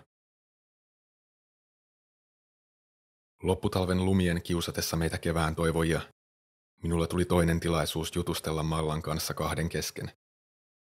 Eräänä torstaina minulla oli vapaata aikaa aamun ja iltapäivän luentojen välissä. Työskentelin tilastotieteen tehtävien parissa yksin yliopiston aulassa pöydän ääressä, kunnes ihastukseni pamahti paikalle aivan kuin tyhjästä. Hyvä, etten säikähtänyt häntä. Hei, miten menee? Malla kysyi iloisena ja remseänä, kuten hänellä vaikutti olevan tapana keskustelun aloittaessaan. Voinko istua tähän? Hän kysyi heti perään, ennen kuin kerkesin vastatakaan edelliseen. Mielellään soin hänen istuvan viereeni ja levittävän kielioppikirjansa pöydälle auki, vaikka keskittyminen omiin tehtäviini muuttuikin enää utopiaksi. Yritin pitää itseni rentona ja sykkeeni tasaisena, kasvot tavallisen kalpeana eikä punaisina. Olin kuitenkin hieman hermona, sillä hän istui kirjaimellisesti viereeni, eikä pöydän vastakkaiselle puolelle. Hänen hajuvetensäkin tuoksui niin huumaavalta, ja kähärät hiukset laskeutuivat olkapäille nätisti, kuin olisi juuri kampaajalta tullut. Hurmaannuin. Uppouduimme kumpikin omien askareidemme pariin. Välillä työskentelimme hiljaa, välillä niitä näitä rupatellen. Malla kertoi muuttaneensa tänne Kuopiosta ja olevansa sieltä kotoisin alun perin. Hän puhui Kuopiosta siihen sävyyn, että arvelin hänen tuntevan sisimmissään kotiikävää ja haluaisi sinne takaisin, mutta en nostanut aihetta keskustelussa esille. Noin kymmenen minuutin kuluttua Maalla alkoi pakata tavaroitaan takaisin laukkuunsa ja nousi pöydästä. Taidan lähteä lounaalle. Vatsa kurnii. Toivottavasti kantiinissa on tarjolla jotain hyvää tänään, hän sanoi noustessaan tuolilta. Saa toki liittyä seuraan. Hän lisäsi mitä ystävällisimmän hymyn kerran. Sykkeeni tuplaantui. Tuo oli vihje. Kutsu, eikö? Tulisitko lounaalle kanssani? Ilmeisesti sitä se tarkoitti, vai? En ollut varma. Saa toki liittyä seuraan. Hänkö siis toivoi, että tulen? Miehen aivot eivät ole rakennettu ratkaisemaan tuollaisia arvoituksia. Mutta miehen aivot on kyllä rakennettu mokaamaan. Vilkaisin seinäkelloa. Minulla oli vielä reipas 30 minuuttia aikaa seuraavan luennon alkuun. Jaa, enpä taida keretä. Aikataulu on melko tiukka ja minulla on tässä paljon läksyjä tehtävänä. Huomasin sopertavani sieluttomasti vastaukseksi, yrittäessäni vaikuttaa rennolta. Aa, aha. No, okei, minä tästä sitten kai menen. Hei hei, nähdään. Malla vastasi hieman synkiänä ja heilautti laukkunsa olalle. Nähdään, sanoin ja katselin, kun hän lähti kävelemään pois. Samaan aikaan kuolin vuoteellanikin vierailut potentiaalisempi minäni levitteli käsiään vieressä ja huusi. Voi tunari pahainen, mitä sinä oikein sähläät. Saa toki liittyä seuraan, ihana tyttö vihjaa, ja minä vain torjun hänet kylmästi. Tajusin virheeni heti. Nielaisin pieni hiki otsassa. Mallan selkä loittoni käytävälle. Huuda hänen peräänsä ja pyydä häntä ulos. Pyydä hänet kahville. Sano, että koulun jälkeen on paremmin aikaa ja haluaisit mennä hänen kanssaan iltapäivällä kahville. Aivoni huusivat hälytyskellot soiden. Mutten tehnyt mitään. Jotenkin vain lamaannuin mokastani. Ja lumaava tyttö katosi matkoihinsa. No niin, ei muuta kuin kipinkampin tuomaan sillalle ja jokeen hyppäämään. Mietin katuen, päätäni pudistaen. Siinä missä hukattua aikaa ei saanut enää takaisin, ei saanut välttämättä hukattuja tilaisuuksiakaan. Minulla kävi kuitenkin tuuri. Heti seuraavana päivänä ruokalassa lounastarjotinta kanniskellessani istahdin pöytäseurueeseen, jossa oli sekä luokkatovereitani matematiikan ryhmästä että kielten opiskelijoita Ruotsin porukasta. Yksi näistä kielten opiskelijoista oli Malla. Hei, miten menee? Ihastukseni kysyi minulta. Hänen sävynsä oli tavallista välinpitämättömämpi, eikä hän hymyillyt lämpimästi, vaan muodollisesti. En kertonut miten menee, vaan aloin saman tien höyryten selittämään, kuinka eilen minulla oli ollut vain puoli tuntia aikaa ja että en olisi välttämättä kerennyt luennolle, koska joskus ruokajonoissa saattoi pelkästään joutua odottamaan parikymmentä minuuttia, ja sekin vielä, että ymmärrettävää, Malla keskeytti selittelyni. Hänen vastauksensa oli rahtusen tylyhkö. En tiennyt, oliko hän loukkaantunut minulle eilisestä. Ei kai. Enkä tiennyt, pahensiko selittelyyritykseni vain mokaani. Mahdollisesti. Malla nousi ruokapöydästä ennen kuin koko seurue oli saanut syötyä. Hän sanoi, että täytyisi kiirehtiä, mutta päämäärä jäi epäselväksi. Ei se kai minulle kuulunutkaan. Hän sanoi moikat koko pöytäseurueelle, eikä katseemme enää kohdanneet. Pyydä hänet ulos. Ehdota, että menisimme ulos paremmalla ajalla. Aivoni käskivät tuijottaessani hänen loittonevaa hahmoaan. Mutten taaskaan saanut suutani auki. Ympäröivät ihmiset aiheuttivat liikaa painetta. Tai sitten olin luonnostani vain pelkuri. Malla poistui matkoihinsa. Jälleen yksi hukattu tilaisuus, joka ei tule takaisin. Olin pettynyt itseeni. Niin saattoi olla taikurikin. Näin hänet nimittäin ruokailemassa pari pöytää tuonnempana. Hän oli ollut seuraamassa kaikessa hiljaisuudessa edistymistäni. Tervehdimme toisiamme hillitysti nyökäten. Taikuri pureksi perunan palansa loppuun ja hymyili. En osannut sanoa viiksien asennosta, oliko hymy rohkaiseva vai sellainen, no no, koetappa ensi kerralla sitten skarpata. Hän näytti peukaloa, mutta en voinut olla varma, viestittikö peukalo kaiken olevan minun ja Mallan välillä hyvin, kunhan en vain hermoilisi liiaksi, vai oliko peukalo sarkastinen ja kertoi, hyvin tehty Juhaniseni. Hyvin tehty. Loppulukuvuosi sujui mallaan liittyen samalla tavalla kuin alkusyksykin. Näimme ja törmäsimme silloin tällöin ohimennen naulakoilla pukiessa, tai sattumalta jompikumpi käveli ohi, kun toinen istui käytävän penkillä, tai vastaavaa. Miten menee?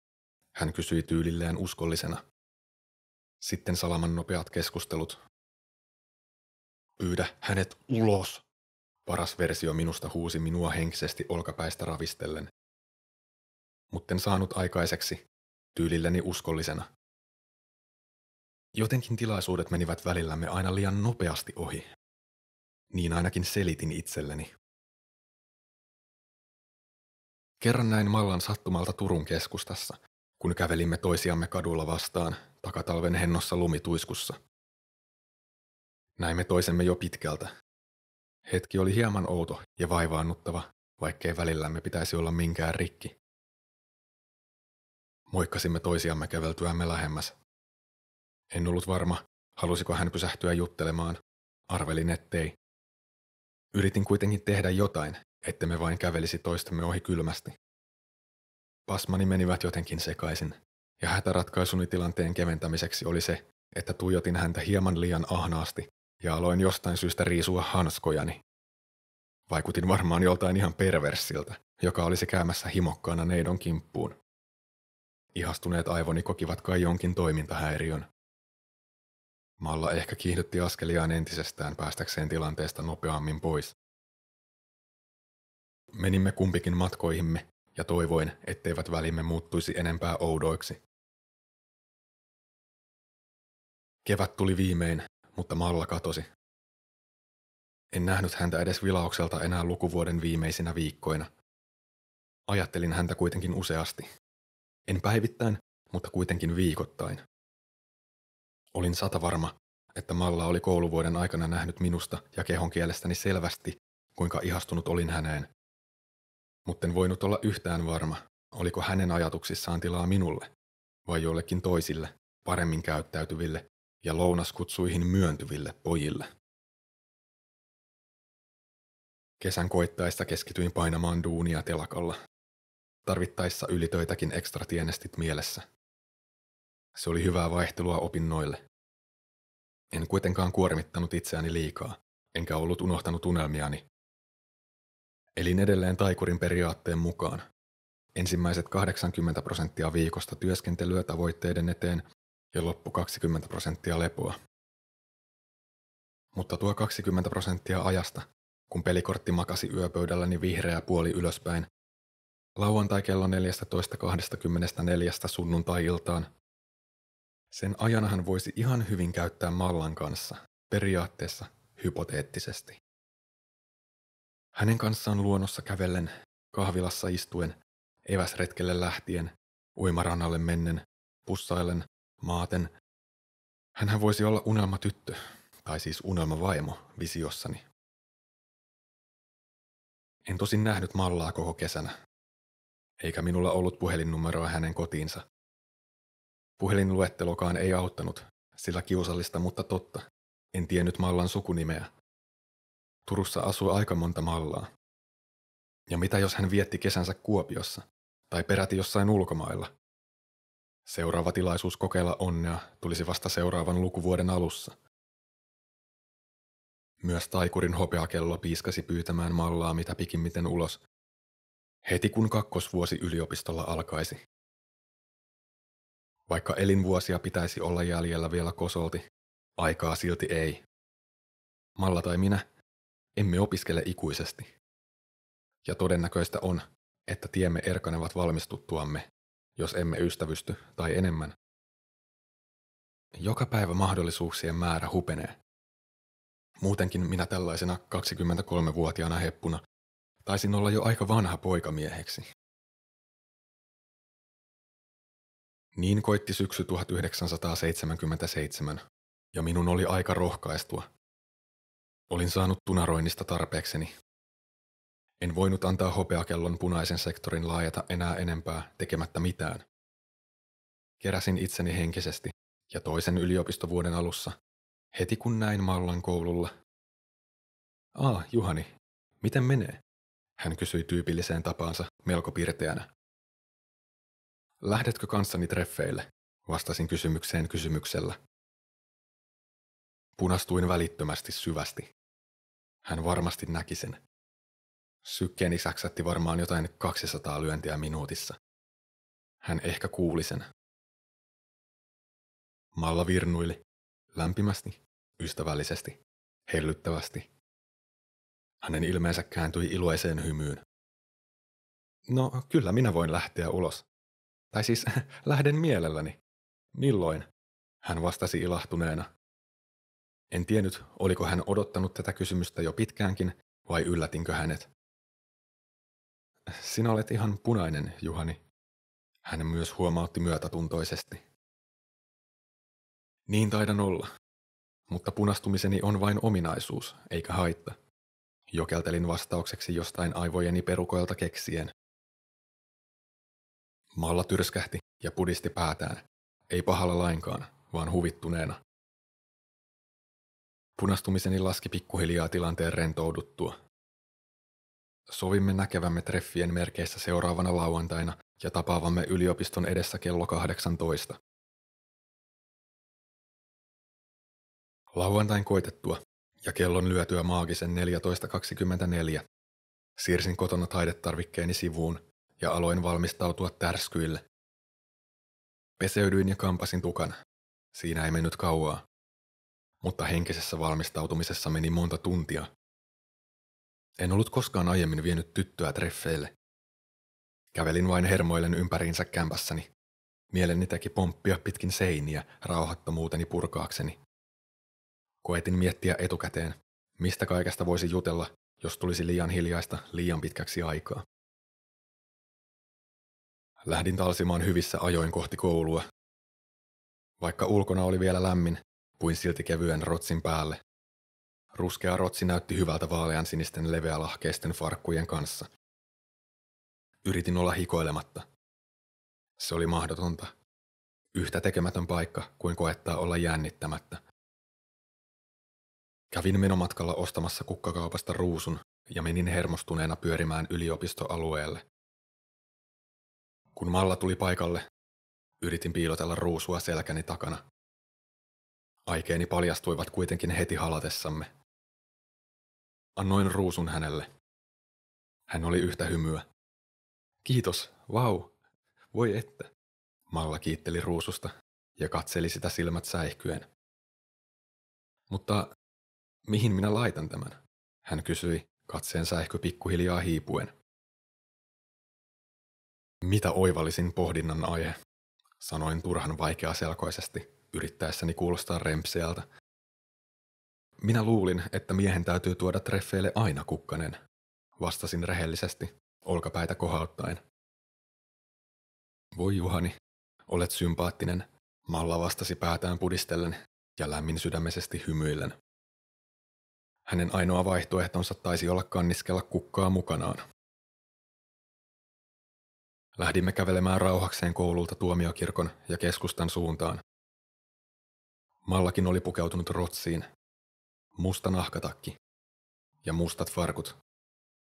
Taideharrastelijan silmääni asukokonaisuus näytti miellyttävältä, sillä punainen tukka ja punainen ruusu toivat mustan päälle harmoniaa. Ehkä kokonaisuus olisi täydellinen, jos päässä olisi vielä tumma baskeri. Sanoin Mallalle baskerista kuinka se mielestäni pukisi häntä. Hän naurahti ja kertoi, ettei tykännyt pukea minkäänlaisia päähineitä, eikä lakit sopisi hänelle yhtään. Sitten sanoin, että oman asuni päällisiksi cowboyhattu voisi näyttää siistiltä. Malla tyrskähti ja kehotti unohtamaan Stetsonit saman tien. Tunsin nolanneeni itseni. No, tulipahan sekin suoritettua pois alta heti kättelyssä, itseni nolaaminen.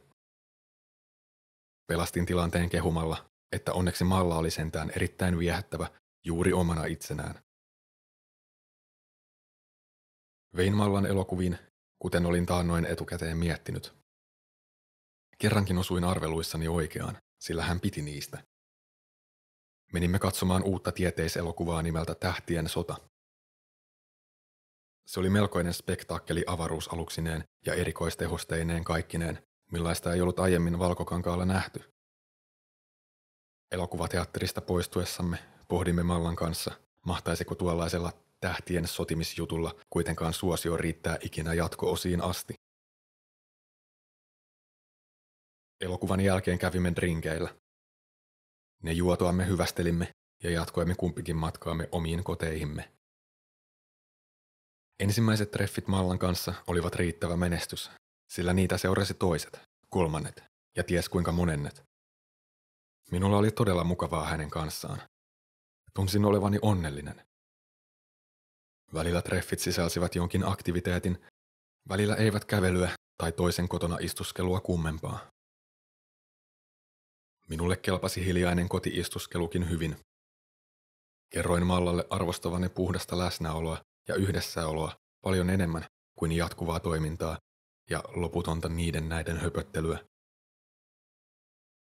Ennen pitkää pääsimme halauksista pusuihin, pusuista suudelmiin ja pidemmälle. Meistä tuli seurusteleva pari. Visioni rakentui pikkuhiljaa valmiimmaksi. Nyt minulla oli mahdollisuus tehdä ura matematiikan parissa opintojen kautta, sekä rinnallani oli ihana kaunis kumppani. Lapset, lemmikit, talo ja auto puuttuivat vielä, mutta niiden aika tulisikin luontevasti vasta myöhemmin. Tuhannen palan palapelistä oli varmaan noin 100-150 palaa rakennettu valmiiksi, tai ainakin reunapalat vähintään. Vai oliko paloja rakennettu valmiiksi sittenkään? Tottahan minusta oli teoriassa ideaalitilanne seurustella Mallan kanssa. Mutta käytännössä tilanne oli odottamattoman haastava. Minulta tuntui loppuvan aika kesken. Tai enemmänkin tila elämästä kesken. Minun oli helppoa sovittaa kaksi suurta kulmakiveä elämään. Työ ja opinnot. Mutta kolme kulmakiveä. Työ, opinnot, malla Sepäs tekikin yllättävän tiukkaa ja sai minut jatkuvasti kiireiseksi. Loogisesti ajateltuna jostain olisi luovuttava. Työ? Ei, muuten ei tipu rahaa. Opinnot? Ei missään nimessä. Sitähän varten taikuri oli järjestänyt kaiken kuntoon nuorentumisestani lähtien. Malla? Ei, Eikö aika moni muukin nuori mies pysty pitämään tätä kolminaisuutta yllä hyvillä mielin? Duuni, koulu, tyttöystävä. Vai näyttelevätkö muut vain onnistumista?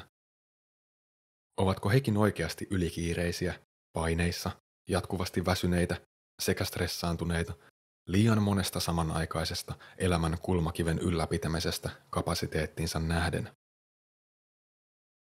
Minulla oli tunne, että muut esittivät ulospäin asioiden olevan paremmin, mitä ne todellisuudessa olivat. Tai sitten vain hain ajatuksen tasolla vertaistukea. Syksyn vaihtuessa talveksi minusta tuntui, että jouduin käymään jatkuvasti kauppaa mallan ja unelmien tavoittelun välillä. Kumpaan käytän voimavarani? Ikään kuin vaihtaisin aikaa ja resursseja unelmieni tavoittelusta mallan kanssa ajanviettoon, sillä molemmat eivät tuntuneet mahtuvan samaan pakettiin. Ura vai rakkaus? Joko tai. Eritoten pohdin tätä öisin. Ja aloin taas nukkua huonosti. Se väsytti. Väsymys vei energian. Energian vähyys teki minusta yrmeämmän.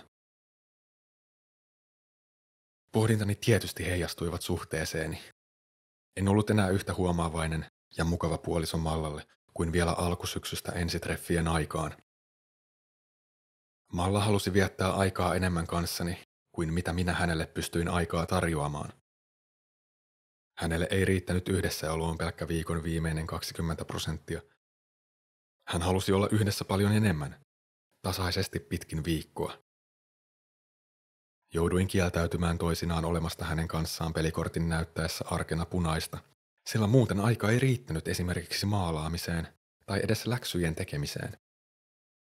Ja omiin päämääriini aikaa laittaessani Malla tunsi olonsa laiminlyödyksi ja oli minulle usein kiukkuinen.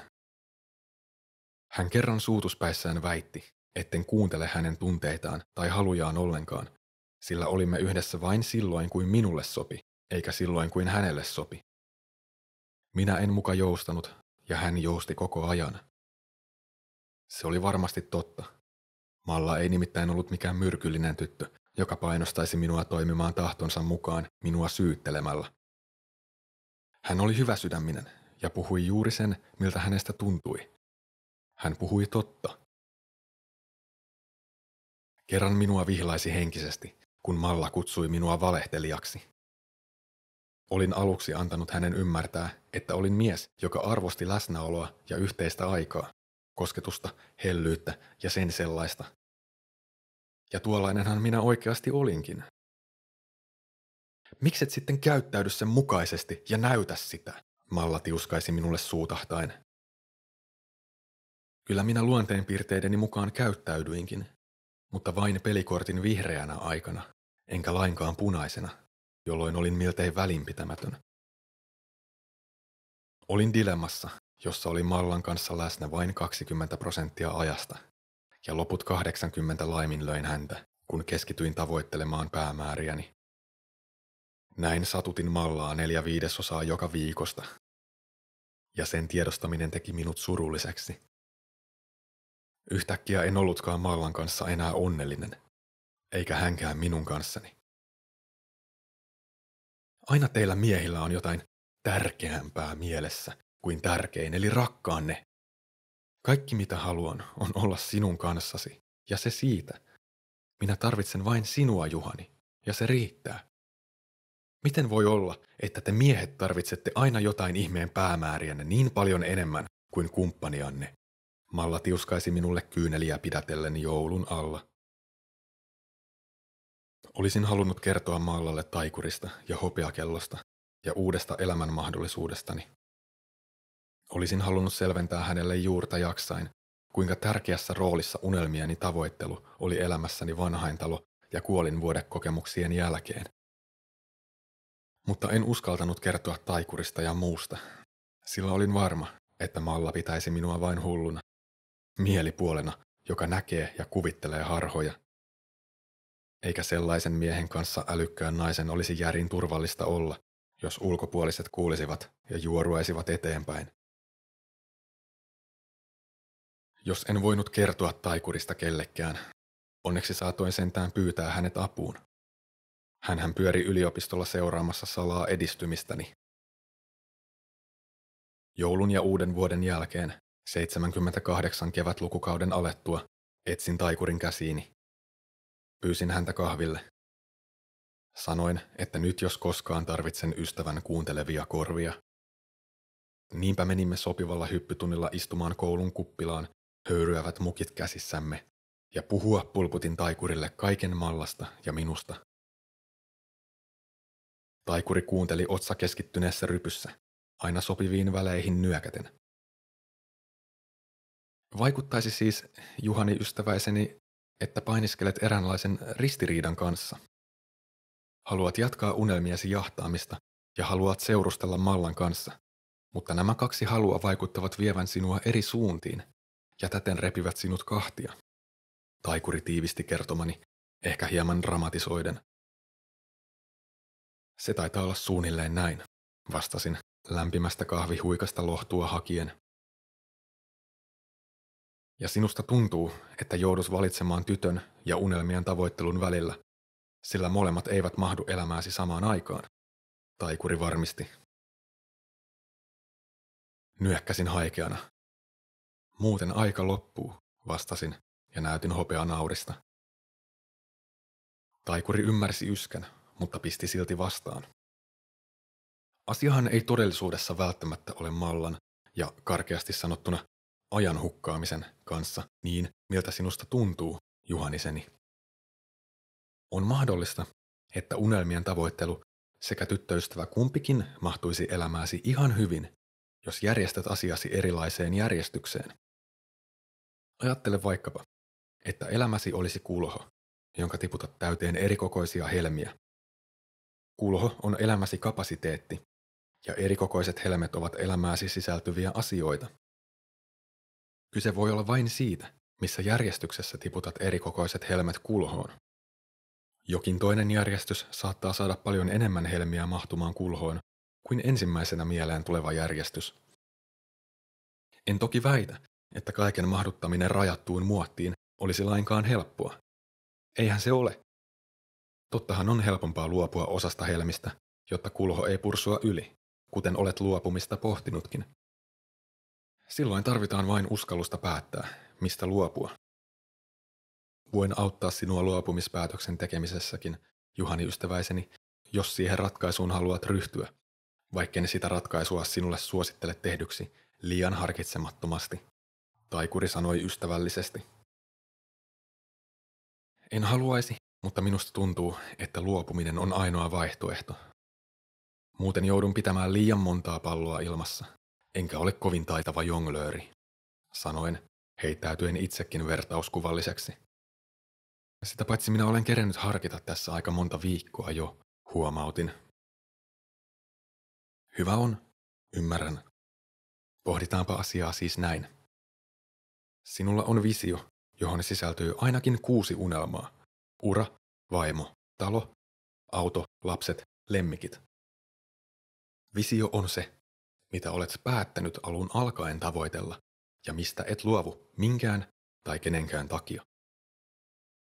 Malla puolestaan hän voisi mahdollisesti, kenties, ehkä olla unelmiesi vaimo, mutta ei välttämättä ole. Unelmiesi vaimo voi olla melkoisen moni muukin nainen. Mallan voisi ennemminkin luonnehtia olevan sellainen ihana elämän yllätys, joka sinulle vain sattui tapahtumaan nyt nuoruuden aikaan. Eli visiosi on se, mitä todella haluat. Ihana malla puolestaan on sattuma. Pidä kiinni siitä, mitä haluat, ja ota sattuma mukaan, jos sattuma sopii yhteen sen kanssa, mitä haluat. Mikäli sattuma ei sovi visiosi kanssa yhteen, päästä sattumasta irti. Malla sopisi visiosi unelmien vaimoksi teoriassa. Sinusta kuitenkin tuntuu, että hän ei sovi vaimoksesi käytännössä, sillä hän jarruttaa matematiikka- ja taidehaaveitasi liikaa, jolloin hänestä kiinni pitäminen vaikeuttaa mahdollisesti visiosi muidenkin osa-alueiden toteuttamista. Jotta voittaisit mahdollisimman pian tuon sinun sisintäsi kalvavan tunteen ja pelon visiosi epäonnistumisesta, päästä mallasta irti soittamalla hänelle mitä pikimmiten. Taikuri kertoi kylmästi, yrittäen kuitenkin kuulostaa lämpimältä. En sanonut mitään. En pystynyt avaamaan suutani, kuten taannoin en pystynyt treffipyyntöjenkään kanssa. Aloin pelätä sitä, mitä saattaisin menettää. Kun olet päästänyt mallasta irti, jatka unelmiesi tavoittelua, visiosi toteuttamista samoin kuten ennenkin. Niin kohotat todennäköisyyksiä maaliin pääsystä. Keskity ensisijaisesti tavoittelemaan urahaaveitasi koska niitä pidät selkeästi tärkeämpänä kuin rakkautta, ainakin tässä vaiheessa elämääsi. Kun olet saavuttanut urahaaveesi, ota sen jälkeen käsittelyyn visiosi seuraavaksi tärkein unelma, oli se sitten vaimo tai talo tai auto. Saavuta se. Ota sen jälkeen kolmanneksi tärkein unelma ja niin edelleen. Saavuta ne yksi kerrallaan. Vaimo saattaa olla vasta viidenneksi tärkein unelma. Ken sitä tietää? kun kerta ensimmäisenä on uraunelmasi, toisena vaikka talo, kolmantena kenties auto ja ehkä jopa neljänneksi kiilaa lemmikit. Keskity saavuttamaan visiosi osa-alueet yksi kerrallaan niiden tärkeysjärjestyksessä, jotta vähemmän tärkeät eivät syö enemmän tärkeitä pois, eivätkä aiheuta sinulle sisäistä tuskaa ajan hukkaantumisesta, kuten nyt on Mallan kanssa uhannut käydä. Taikuri muotoili. Eli sinun mielestäsi minun on aika sanoa hyvästit Mallalle nyt heti, varmistin. Taikuri nyökkäsi silmät kiinni, ilme vakavana, mutta tyyneenä. Se oli vaikea uutinen sulattaa, mutta niin kai olisi tehtävä. Mistä voin olla varma, että hänen jättämisensä on oikea valinta, kysyin. Tarkoitatko, että miten varmistat sen, että hänet jätettyään saavutat uraunelmasi ja voit olla varma, ettet jää katumaan jättöpäätöstäsi, taikuri kysyi.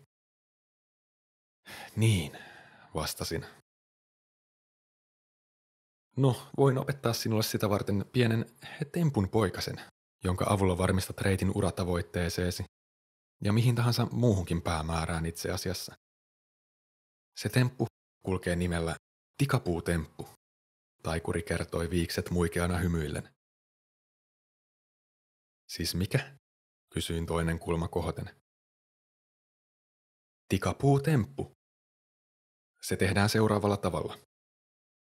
Kirjoita paperille kynällä jokin unelmasi ylös. Pue se sanoiksi. Käytetään esimerkkinä unelma-autoa. Sinun unelma-autosi olkoon vaikkapa Ferrari Dino. Kirjoitat paperin ylälaitaan. Ferrari Dino autotallissani. Tämä olkoon niin sanottu lopputilanne unelmassasi. Sitten sinun täytyy miettiä, mikä on lopputilannetta välittömästi edeltävä vaihe. No se olkoon, että sinun täytyy ostaa kyseinen auto. Kirjoita paperille siis lopputilanteen alapuolelle. Osta auto. Nyt sinun on mietittävä, mikä on ostoa edeltävä vaihe. No tuollaista unelmapeliä ei varmaan ole Suomessa myynnissä, joten sinun täytynee matkustaa Italiaan tilaamaan auto suoraan tehtaalta. Kirjoita paperille ostovaiheen alapuolelle. Matkusta Italiaan. Seuraavaksi täytyykin pohtia, mikä on Italiaan lähtöä edeltävä vaihe. No varmaankin se, että sinulla on rahat koossa autoon sekä lentolippuihin. Eli kirjoitat paperille Italiaan matkustamisen alapuolelle. Budjetti koossa, auton hinta plus matkakulut. Sitten on tehtävä selväksi, mikä on budjetin koossa olemista edeltävä vaihe. Arvatenkin budjetin kerääminen. Kirjoitat sen edellisen alle. Mikä on budjetin keräämistä edeltävä vaihe? Kenties säästäminen. Kirjoitat sen taas alapuolelle. Mikä on sitä edeltävä vaihe? Hyvät ansiot, jotta on jotain, josta säästää. Kirjoitat sen. No mikä on hyviä ansioita edeltävä vaihe? Hyvä palkkainen työ tai monta työtä, ja niin edelleen. Pinoat näitä vaiheita allekkain aina vaan varhaisempaan ja varhaisempaan vaiheeseen. Niin kauan, että pääset kirjoittamaan sellaisen vaiheen, jonka pystyt toteuttamaan tässä ja nyt heti. Vaihe, jonka pystyt toteuttamaan nyt heti välittömästi, jää pinon alimmaiseksi. Sitten vain piirrät tikapuut vaihepinon viereen. Näin sinulla on silmiesi edessä konkreettinen polku, tikapuut, joita ylös kiipeämällä saavutat unelmasi, tässä tapauksessa Ferrarin. Voit tehdä tikapuutempun jokaisen visiosi osalle, unelmien talon etsimiselle vaikkapa, tai esimerkiksi taidemaalarin unelmallesi. Kirjoita paperille lopputilanne, eli se tilanne, jossa kuvittelisit, että olet saavuttanut sen, mitä haluat taidemaalarina. Vaikkapa oma taidenäyttely jossain museossa.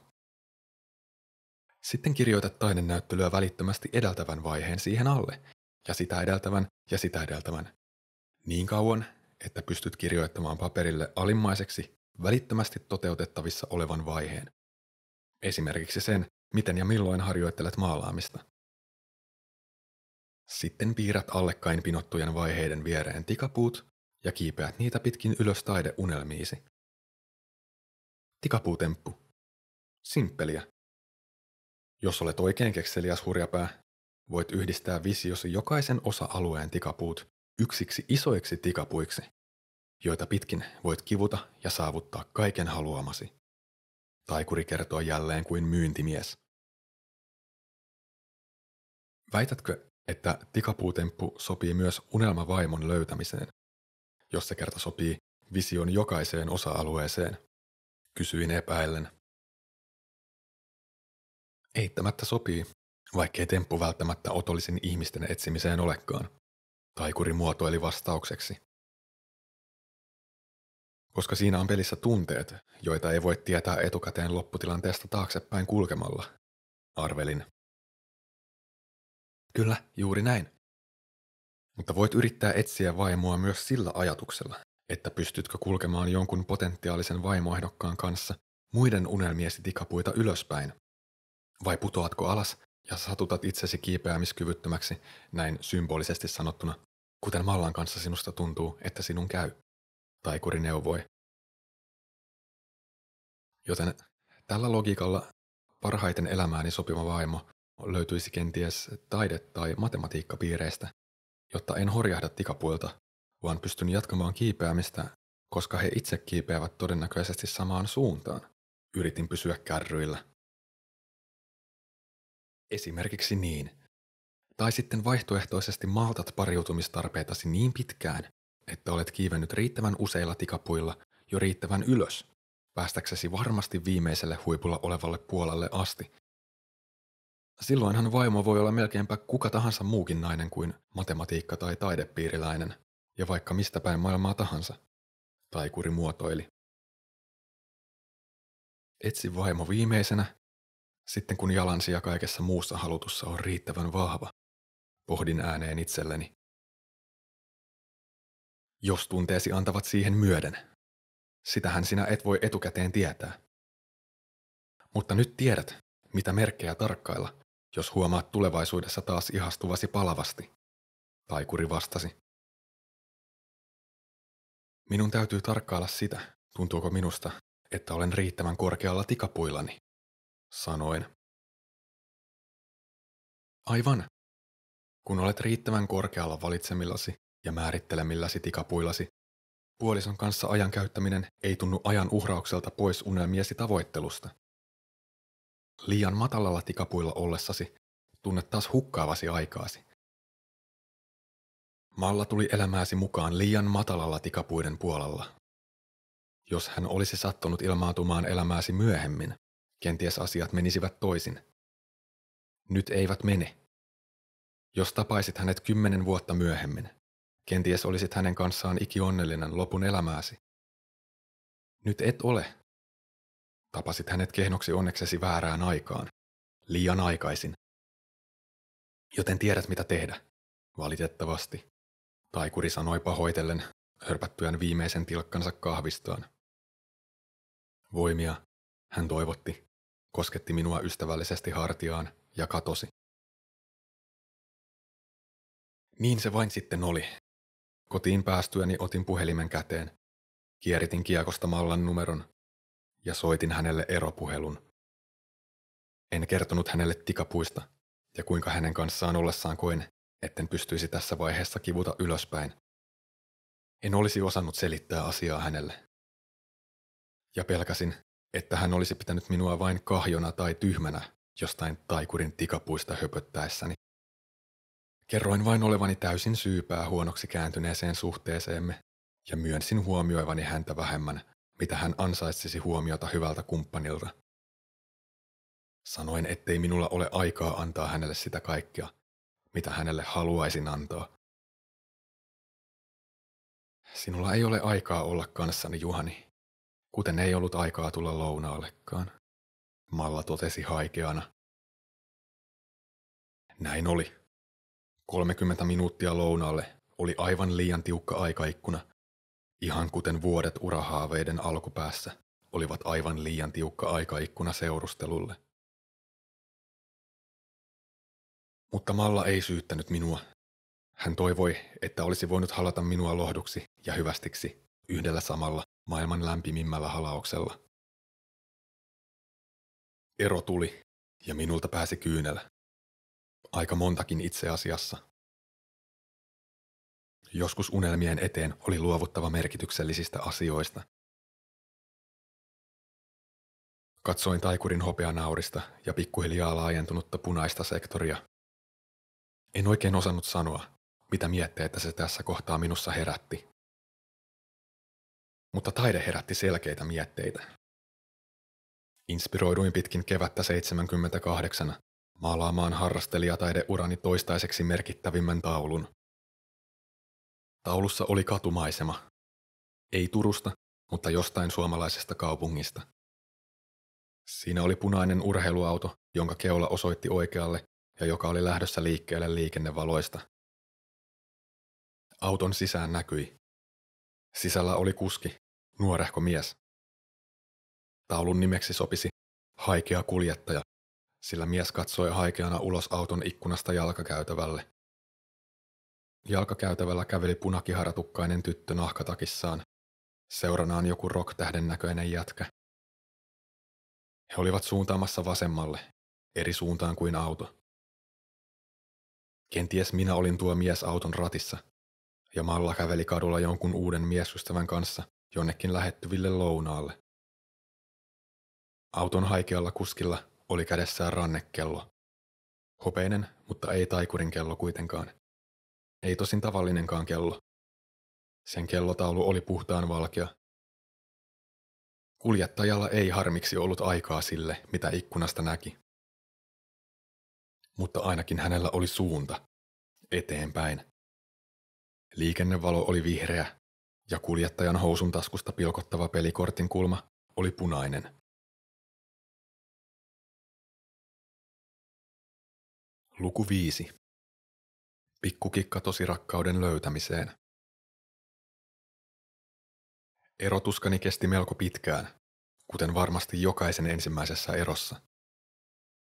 Mutta suruni lieveni pikkuhiljaa ja pysyi poissa mielestäni keskittyessäni elämään taikurin periaatteesta kiinni pitäen.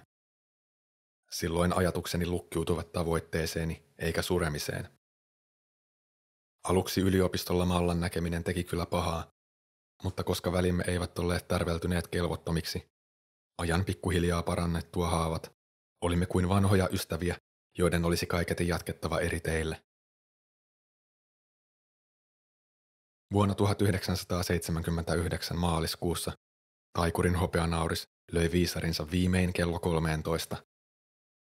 Symbolinen päiväni oli edennyt kokonaisen tunnin, eli viisi vuotta. En katunut sitä, miten olin tuon ajanjakson käyttänyt. Olin oppinut ja kehittynyt ihmisenä. En siis voi sanoa, että olisin hukannut aikani, vaikka kouluun pääsy oli taannoin kestänyt odotettua enemmän, ja vaikka naisasioissa olin monella tapaa säheltänytkin. Keväällä 1981 vihdoin valmistuin matematiikan polulla maisteriksi asti. Lopetin työt telakalla ja keskityin täyspäiväiseen työnhakuun, urahaaveitani vastaavaa paikkaa etsien. Käytin työnhaussa hyödykseni taikurin tikapuutemppua. Ensin määrittelin kynällä paperille, millainen matematiikkaa hyödyntävä unelmapestini olisi. Esimerkiksi voisin olla tilastonikkari, joka kerää dataa osakekursseista ja laskee niiden perusteella, miten kurssit tulevat todennäköisesti käyttäytymään tulevaisuudessa. Sitä edeltävä askel olisi hakea ja saada työ, ja sitä edeltävä askel puolestaan olisi varmistaa, että juuri minä olisin asiantuntevin hakijaehdokas työnhaun aloittaessa, jota edeltävä askel olisikin hankkia asiantuntemusta osakemarkkinoista, ja niin edelleen. Ja pikkuhiljaa alemmas tulemalla päädyin vaiheeseen, jonka pystyin toteuttamaan saman tien. Osta sanomalehti ja lue keskittyneesti sen talousuutiset. Enempää jahkailematta marssin lähimmälle kioskille, ostin lehden ja päätin tehdä talousuutisten lukemisesta jokapäiväisen rutiinin. Niin asiantuntijuuteni kehittyisi huomaamatta paremmaksi.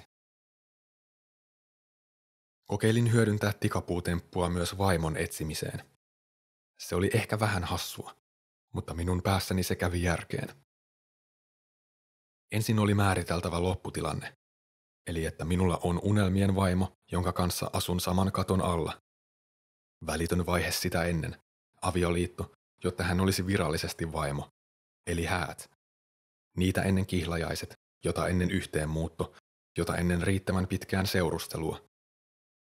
Sitä edeltää luonnollisesti seurustelun aloittaminen, jota varten täytyy löytää se unelmien seurustelukumppani.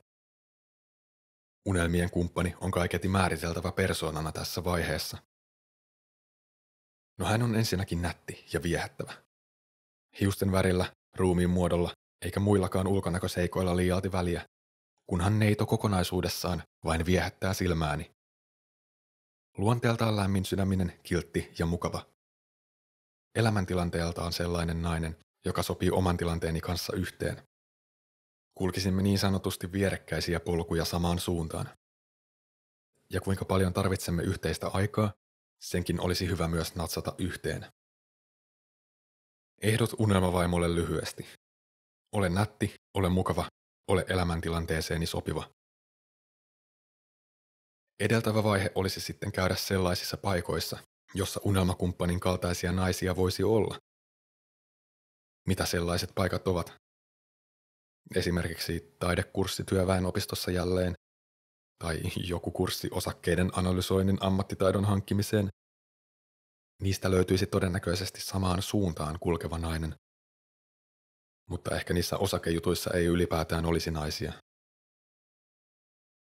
Mutta tansseissapas voisi ollakin. Naisethan tykkäsivät tanssia, ainakin minun käsitykseni mukaan. Minä en tosin ollut mikään tanssia. No, tansseihin menemistä edeltävä vaihe olisi tietty oppia tanssimaan. Miten oppia tanssimaan? Tanssikurssi. Mistä löytää tanssikurssi? Lehti-ilmoitusten tutkailu. Mistä löytää aikaa tanssikurssille? Lauantaisin kello 14.24 jälkeen olisi ainakin vapaata, jos viikonloppuisin tanssikursseja järjestettäisiin. Olin taas saavuttanut vaiheen, jonka voisin toteuttaa heti saman tien. Hankkiudu tanssikurssille. Nyt täytyi enää piirtää tikapuut huipulle asti, eli mennä kurssille, oppia tanssimaan, tavata kurssilla tai sitten varsinaisissa tansseissa unelmien kriteereitä vastaava nätti, mukava, elämäntilanteeseen sopiva neito, pyytää neito ulos, jotta seurustelun voi aloittaa, sitten seurustella, muuttaa yhteen, mennä kihloihin, mennä naimisiin, ja sitten unelma olisikin jo saavutettu. Samasta lehdestä, josta löytyisi talousuutiset, aloin rohkeasti silmäillä tanssikurssin mainoksia. Hauska sattuma, että ura sekä rakkausunelmien kummankin konkreettinen ensimmäinen heti toteutettava askel oli marssia lehtikioskille ostohousut jalassa. Vaikka polut unelmiin tikapuineen oli helppoa hahmotella paperille, tosi elämä näytti karuutensa, eikä kiipeäminen ylemmäs kohti tavoitteita ollut lainkaan jouhevaa. Haluamaani työtä ei tietenkään ollut tarjolla, kun pääsin urahaaveessani varsinaiseen työnhakuvaiheeseen. En ollut varma, oliko sellaista pestiä edes olemassa. Ehkä Suomessa ei ollut tarvetta sijoitusasiantuntijoille, jos kansalaiset halusivat mieluummin säilyttää rahansa hyvässä piilossa patjan välissä. Eikä vaimon löytäminen sujunut kuten olin kuvitellut. Ilmoittauduin kyllä tanssioppilaaksi sopivalle kurssille, mutta hermoilin pyytää daameja ulos sen jälkeen, kun kerran erehdyin pyytämään erästä varattua neitoa. Enkä rehellisesti sanottuna edes pitänyt tanssimisesta. Oikeastaan vihasin tanssimista, sillä se ei sujunut alkuunkaan. En tiedä, oliko elämässäni vieläkään oikea hetki edes etsiä vaimoa, vaikka olin jo 27-vuotias. Mitä jos rakkaus tosiaan olisikin visiooni kuuluvien unelmien arvojärjestyksessä vasta uran, talon, auton ja lemmikkien alla? Ja tanssikursseilta naista etsiessäni vain viivytin neljän edeltävän toteutumista. Äh, vaikea sanoa. Mutta sen huomasin, että Malla ja hänen kanssaan vietetty pari onnellista alkuhuuman kuukautta syksyllä 77 olivat muuttaneet minussa jotain. Yhtäkkiä minulla oli todellinen tarve löytää kumppani. Ehkä olin sisimmässäni rakkauden kipeä. Tai sitten biologinen kello huusi minua lisääntymään ja sotki ajatukseni. Jatkoin tanssiharrastusta hieman väkisin ja samalla koitin miettiä, missä muissa harrastustoimissa olisi hyvä mahdollisuus tavata potentiaalisia vaimoja. Lukuisat eri maalauskurssit eivät nimittäin tuottaneet haluttuja rakkaustuloksia. Vapaat maalarimmit piilottelivat jossain teillä tietämättömillä. Ehkäpä työväenopiston kielikurssit sitten. Ehkä naiset opettelivat mielellään uusia kieliä. Ajatus uuden kielen oppimisen vaivasta ei houkuttanut, ja se vaikeuttaisi taas keskittymistä muihin unelmiin. Unelmien tavoittelussa oli erittäin tärkeää siivota kaikki ylimääräinen hälinä ja vaiva elämästä pois häiritsemästä, maksimoidakseen onnistumismahdollisuutensa, eikä kerätä vaivoja itselleen lisää. Ylimääräisten häiriöiden välttelyn olin oppinut Mallasta, vaikka hänestä niin paljon olin tykännyt, ja ehkä tykkäsin edelleenkin. Minua inhotti määritellä niin ihana nuorinainen unelmien häiriötekijäksi, vaikka hän oli jo periaatteessa ollut täydellinen nainen ja tehnyt minut onnelliseksi. Tunsin järjetöntä ristiriitaa sisälläni. Malla olisi ihan hyvin voinut olla se visioni unelmavaimo, mutta en antanut hänelle mahdollisuutta näyttää sitä toteen. Olinko hätiköinyt? En tiedä. Tietämättömyys kalvoi, Vihdoin syksyllä 1981 pääsin töihin, jossa sain hyödyntää matemaattista tutkintoani. Minusta tuli sijoitusanalyytikko. Melko lähelle sitä, mitä ennalta ajattelin lopputilanteeksi. Olin aluksi hurjan iloinen. Taikurikin piipahti onnittelemassa minua kädestä puristaen. Ensimmäinen unelma visiostani oli mahdollista merkata saavutetuksi. Hopeanauriin viisaritkin näyttivät vasta puoli kahta. Minun olisi syytä olla tyytyväinen itseeni. Mutta kevääseen 82 mennessä kävi ilmi, että huomasin olevani silti jotenkin tyytymätön. Pääsin käyttämään töissä matemaattisia taitojani juuri haluamallani tavalla, mutta Unelmatyö ei tehnyt minua sittenkään niin onnelliseksi kuin luulin. Kai siinä oli ollut vain alkuinnostus. Se oli loppujen lopuksi kuitenkin vain työtä. Tätäkö tunnetta minä nyt olin tavoitellut monien vuosien ahkeroinnilla? Kappas vain tyyppistä, ha, huokaisua ja olan kohautusta. Näinkö tyhjältä unelman saavuttamisen kuului tuntua, kaiken vaivan näön jälkeen? Vai olinko minä jotenkin pysyvästi rikki mallan kanssa eletyn ajan takia? Jos purin vuorokauteni tyypilliseen kolmeen osaan, kolmasosa työtä eli kahdeksan tuntia, vapaata myös kolmasosa kahdeksan tuntia. Ja unta viimeinen kolmannes. Unelmatyötä tehdessä minun pitäisi olla periaatteessa yksi kolmasosaa vuorokaudesta onnellinen. Jos minulla olisi unelma vaimo, voisin olla hänen kanssaan töiden jälkeisen vapaan kolmanneksen onnellinen. Ja yhdessä nukkuessa myös yöunien ajan onnellinen, kun hän painaisi päänsä hartiaani vasten ja kietoisi kätensä ympärilleni. Tällä logiikalla, jos olisin pitänyt mallasta nuorena kiinni, olisin ollut hänen kanssaan vapaalla ja nukkuessa onnellinen, eli kaksi kolmasosa vuorokautta. Sitten olisin tehnyt jotain hanttihommaa yhden kolmasosan vuorokaudesta. Olisin Mallan kanssa seurustellessa ollut hanttihommissa 33,3 prosenttia ajasta onneton mutta lopun 66,7 prosenttia ajastani onnellinen. Eikö se ollut ihan hyvä diili? Nyt taas olin 33,3 prosenttia ajastani vain periaatteessa onnellinen tai tyytyväinen unelmatyötä tehdessä ja 66,7 prosenttia onneton sinkku. Perhana. Miten en ollut tajunnut tätä aiemmin ja pitänyt mallasta kiinni? Mutta turha ruoskia itseään. Aika kultaa muistot. Sitä paitsi minun on muistettava mallan tuntuneen esteeltä, joka maksoi aikaa muiden unelmien tavoittelulta. Minähän murehdin hänen kanssaan ollessa liikaa. En ollut voinut hyvin, vaikka hän oli ollut hyvä kumppani. Ja sekös minun vasta olikin muistettava, kuinka paljon minua oli harmittanut asua vanhaintalossa koko elämänsä hanttihommiin jämähtäneenä katkerana ukkona, joka ei ollut muistanut toteuttaa itseään. Ja harmissaan kierivä murehtiva mies on kuitenkin ajastaan nolla prosenttia onnellinen.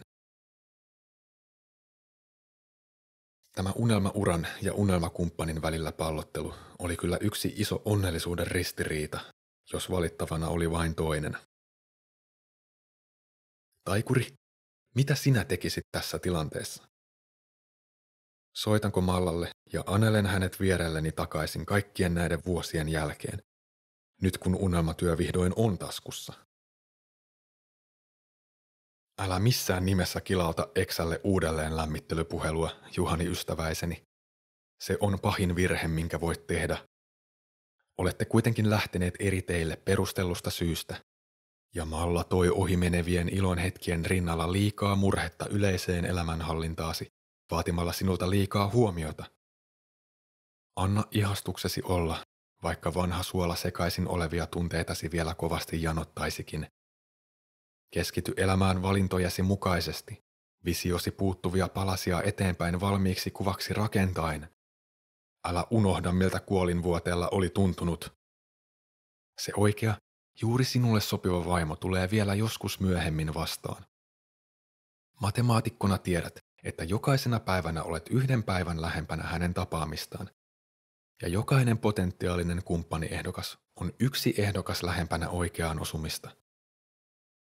Jatka elämääsi unelmiasi tavoitellen. Äläkä myy unelmiasi pikaisen rakkauden toivossa, Juhaniseni.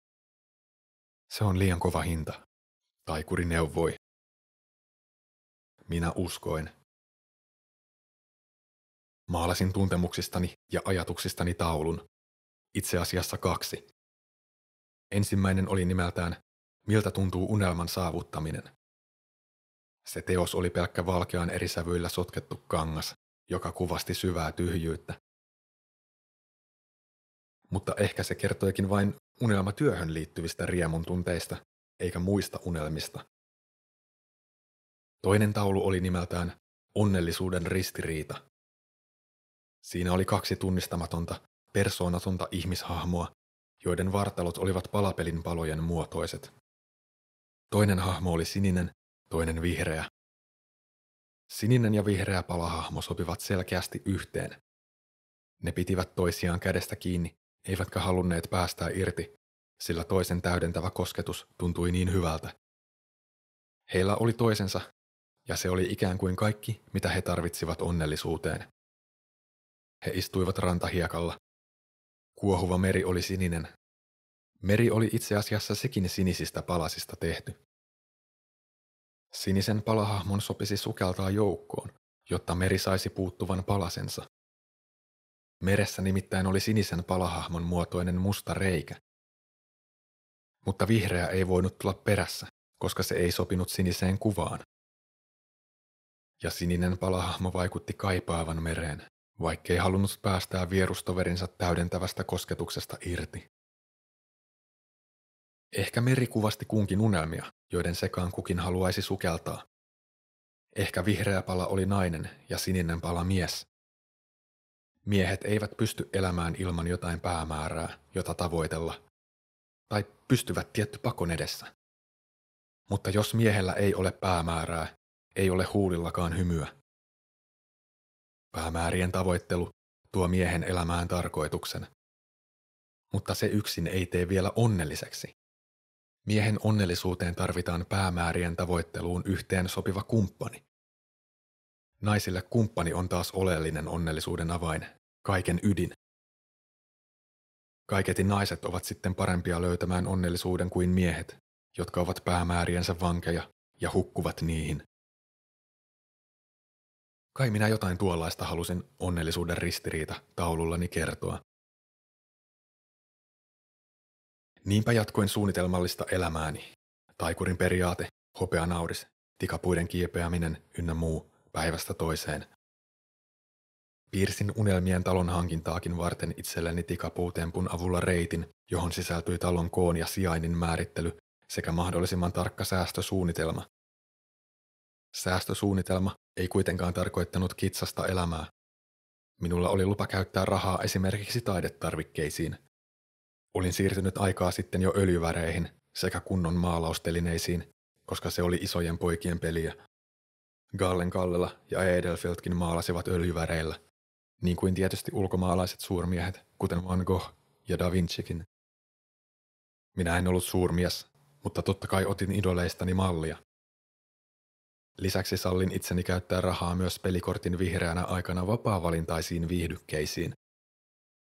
Saatoin lyödä loton sisään tai raveissa vetoa. Saatoin mennä baariin lauantai-iltana. Kävipäs kesällä 82 sitten niin, että eräänä iltana baarin karaokessa lauloi neito nimeltään Kaisa. Hänellä oli ilmiömäinen lauluääni, ainakin omaani verrattuna. Yleisökin piti hänestä. Hän sai raikuvia aplodeja ja suosiota laulaessaan useita hittikappaleita. Siemailin olutta ja katselin Kaisaa sillä silmällä. Tumma runsas tukka, muhkea vartalo. Hän oli mielestäni nätti. Hymyilynsä ja iloisen laulunsa perusteella hän oli myös lämmin sydäminen ja mukava. Hän täytti minimiehtoni unelmien vaimosta. Lisäksi baari oli vaimon etsintä tikapuihin nähden sopiva ympäristö, jos kerta yksi alkuaskelista oli hankkiutua paikkoihin, jossa nättejä mukavia naisia kävi. Ainoa mitä en tiennyt, olisi kokaisa elämäntilanteeseeni sopiva kumppani. Se selvisi ainoastaan pyytämällä hänet ulos. Tilasin väkevän rohkaisuryypyn, kulautin sen pikaisesti kurkkuun ja menin kehumaan Kaisan kaunista laulua sekä viehättävää ulkonäköä. Ohjasin keskustelua lämpimäisten jutusteluun ja pian jo pyysinkin häntä treffeille seuraavaksi viikonlopuksi. Ja mikä mukavinta, vapaana neitona hän lähti mielellään. Niin kai se vain oli, puhdasta matematiikkaa. Pyydä riittävän montaa neitoa ulos. Joku kyllä lähtee. Kyse ei ole tuurista, vaan todennäköisyydestä. Tästä ei kuitenkaan mitään vuosisadan rakkaustarinan ensimmäistä lukua saisi kirjoitettua. Tässä oli liikaa kliseitä. Tapaamispaikka baari ja vuoden aika kesä. Mutta toimipa sentään kliseet minun kohdallani. Vein Kaisan ensimmäisillä treffeillämme kierrokselle Turun linnaan. Minusta tuntui hieman karmivalta, kun huomasin taikurin toisinaan tarkkailevan meitä linnan pimeältä kivikäytäviltä, joihin yleisöllä ei ollut pääsyä. Taikuri vinkkasi minulle silmää, nyökkäili ja hymyili viikset muikeana. Minä irvistin huvittuneena takaisin. Onneksi taikurin paikallaolo oli ainoastaan minun pääni sisäinen vaiva, eikä vaikuttanut Kaisaan. Kaisan kanssa tuli toiset treffit, kolmannet, kymmenennet. Päädyimme melko pian suutelemaan ja myöhemmin sänkyyn. Tarina kulki aivan kuin Mallankin kanssa nuorempana, mutta yhdellä pienellä erolla. Nimittäin, Kaisa unelmoi laulajan urasta. Hän työskenteli toistaiseksi kirjastossa. Hän ymmärsi, kuinka paljon unelmien tavoittelu saattoi ihmiselle merkitä ja kuinka paljon niihin tarvitsi käyttää aikaa. Ehkä naisillekin siis päämäärät olivat tärkeitä juttuja seurustelusuhteiden lisäksi. Kerroin Kaisalle eräillä treffeillä ajankäyttötavoistani, eli maagisesta kellon lyömästä 14.24. En kuitenkaan maininnut sen perustuvan taikurin periaatteeseen, sillä en ollut riittävän rohkea kertomaan taikurista kenellekään mitään. Kerroin vain prosenteista, jonka mukaan maaginen kellon lyömä määräytyi. Puhuimme ajankäytön ja unelmien tavoittelun suhteen Kaisan kanssa niin sanottua samaa kieltä. Sama aallonpituus, sillä hän halusi panostaa musiikkiunelmiinsa. Treffailimme lähinnä lauantaisin ja sunnuntaisin. Kun ymmärsimme toisiamme paremmin, minun oli helpompi tarjota Kaisalle sitä, mitä en pystynyt tarjoamaan Mallalle. Pystyin olla Kaisan kanssa viikonloppuisin läsnä, murehtimatta. Niinpä tiesin hänen olevan elämäntilanteeseeni sopivasti loksahtava vaimoehdokas, jonka polku vaikutti kulkevan vierelläni riittävän samaan suuntaan. Mitä tikapuutemppu sanoikaan seuraavaksi askeleeksi? Seurustele riittävän pitkään, jota seuraa muutto yhteen, jota seuraa kihlautuminen. Täytyypä ottaa kihlasormuksen hinta huomioon suunnitellessa budjetointeja taloon, autoon ja lemmikkeihin. Kaisa oli kaiken puolin potentiaalinen unelmavaimo, mutta täyttyvät ehtoni eivät saaneet minua vielä rakastumaan häneen. Rakkaus häneen roihahti sellaisista asioista, joita en osannut ennalta tikapuihin suunnitella. Kerran Kaisa kysyi, mikä on lempiherkkuni. Vastasin, että letut ja mansikkahillo se taitaa olla. Niinpä hän lupautui seuraavilla treffeillämme leipomaan ison nipun räiskäleitä, kuten hän niitä kutsui. Lettutreffit koittivat. Voi rätisi pannulla. Huumaava tuoksu levisi ympäri hänen asuntonsa keittiötä. Kaisa paistoi täydelliset lätyt. Hän ei edes mokannut ensimmäistä lettua, kuten usein käy.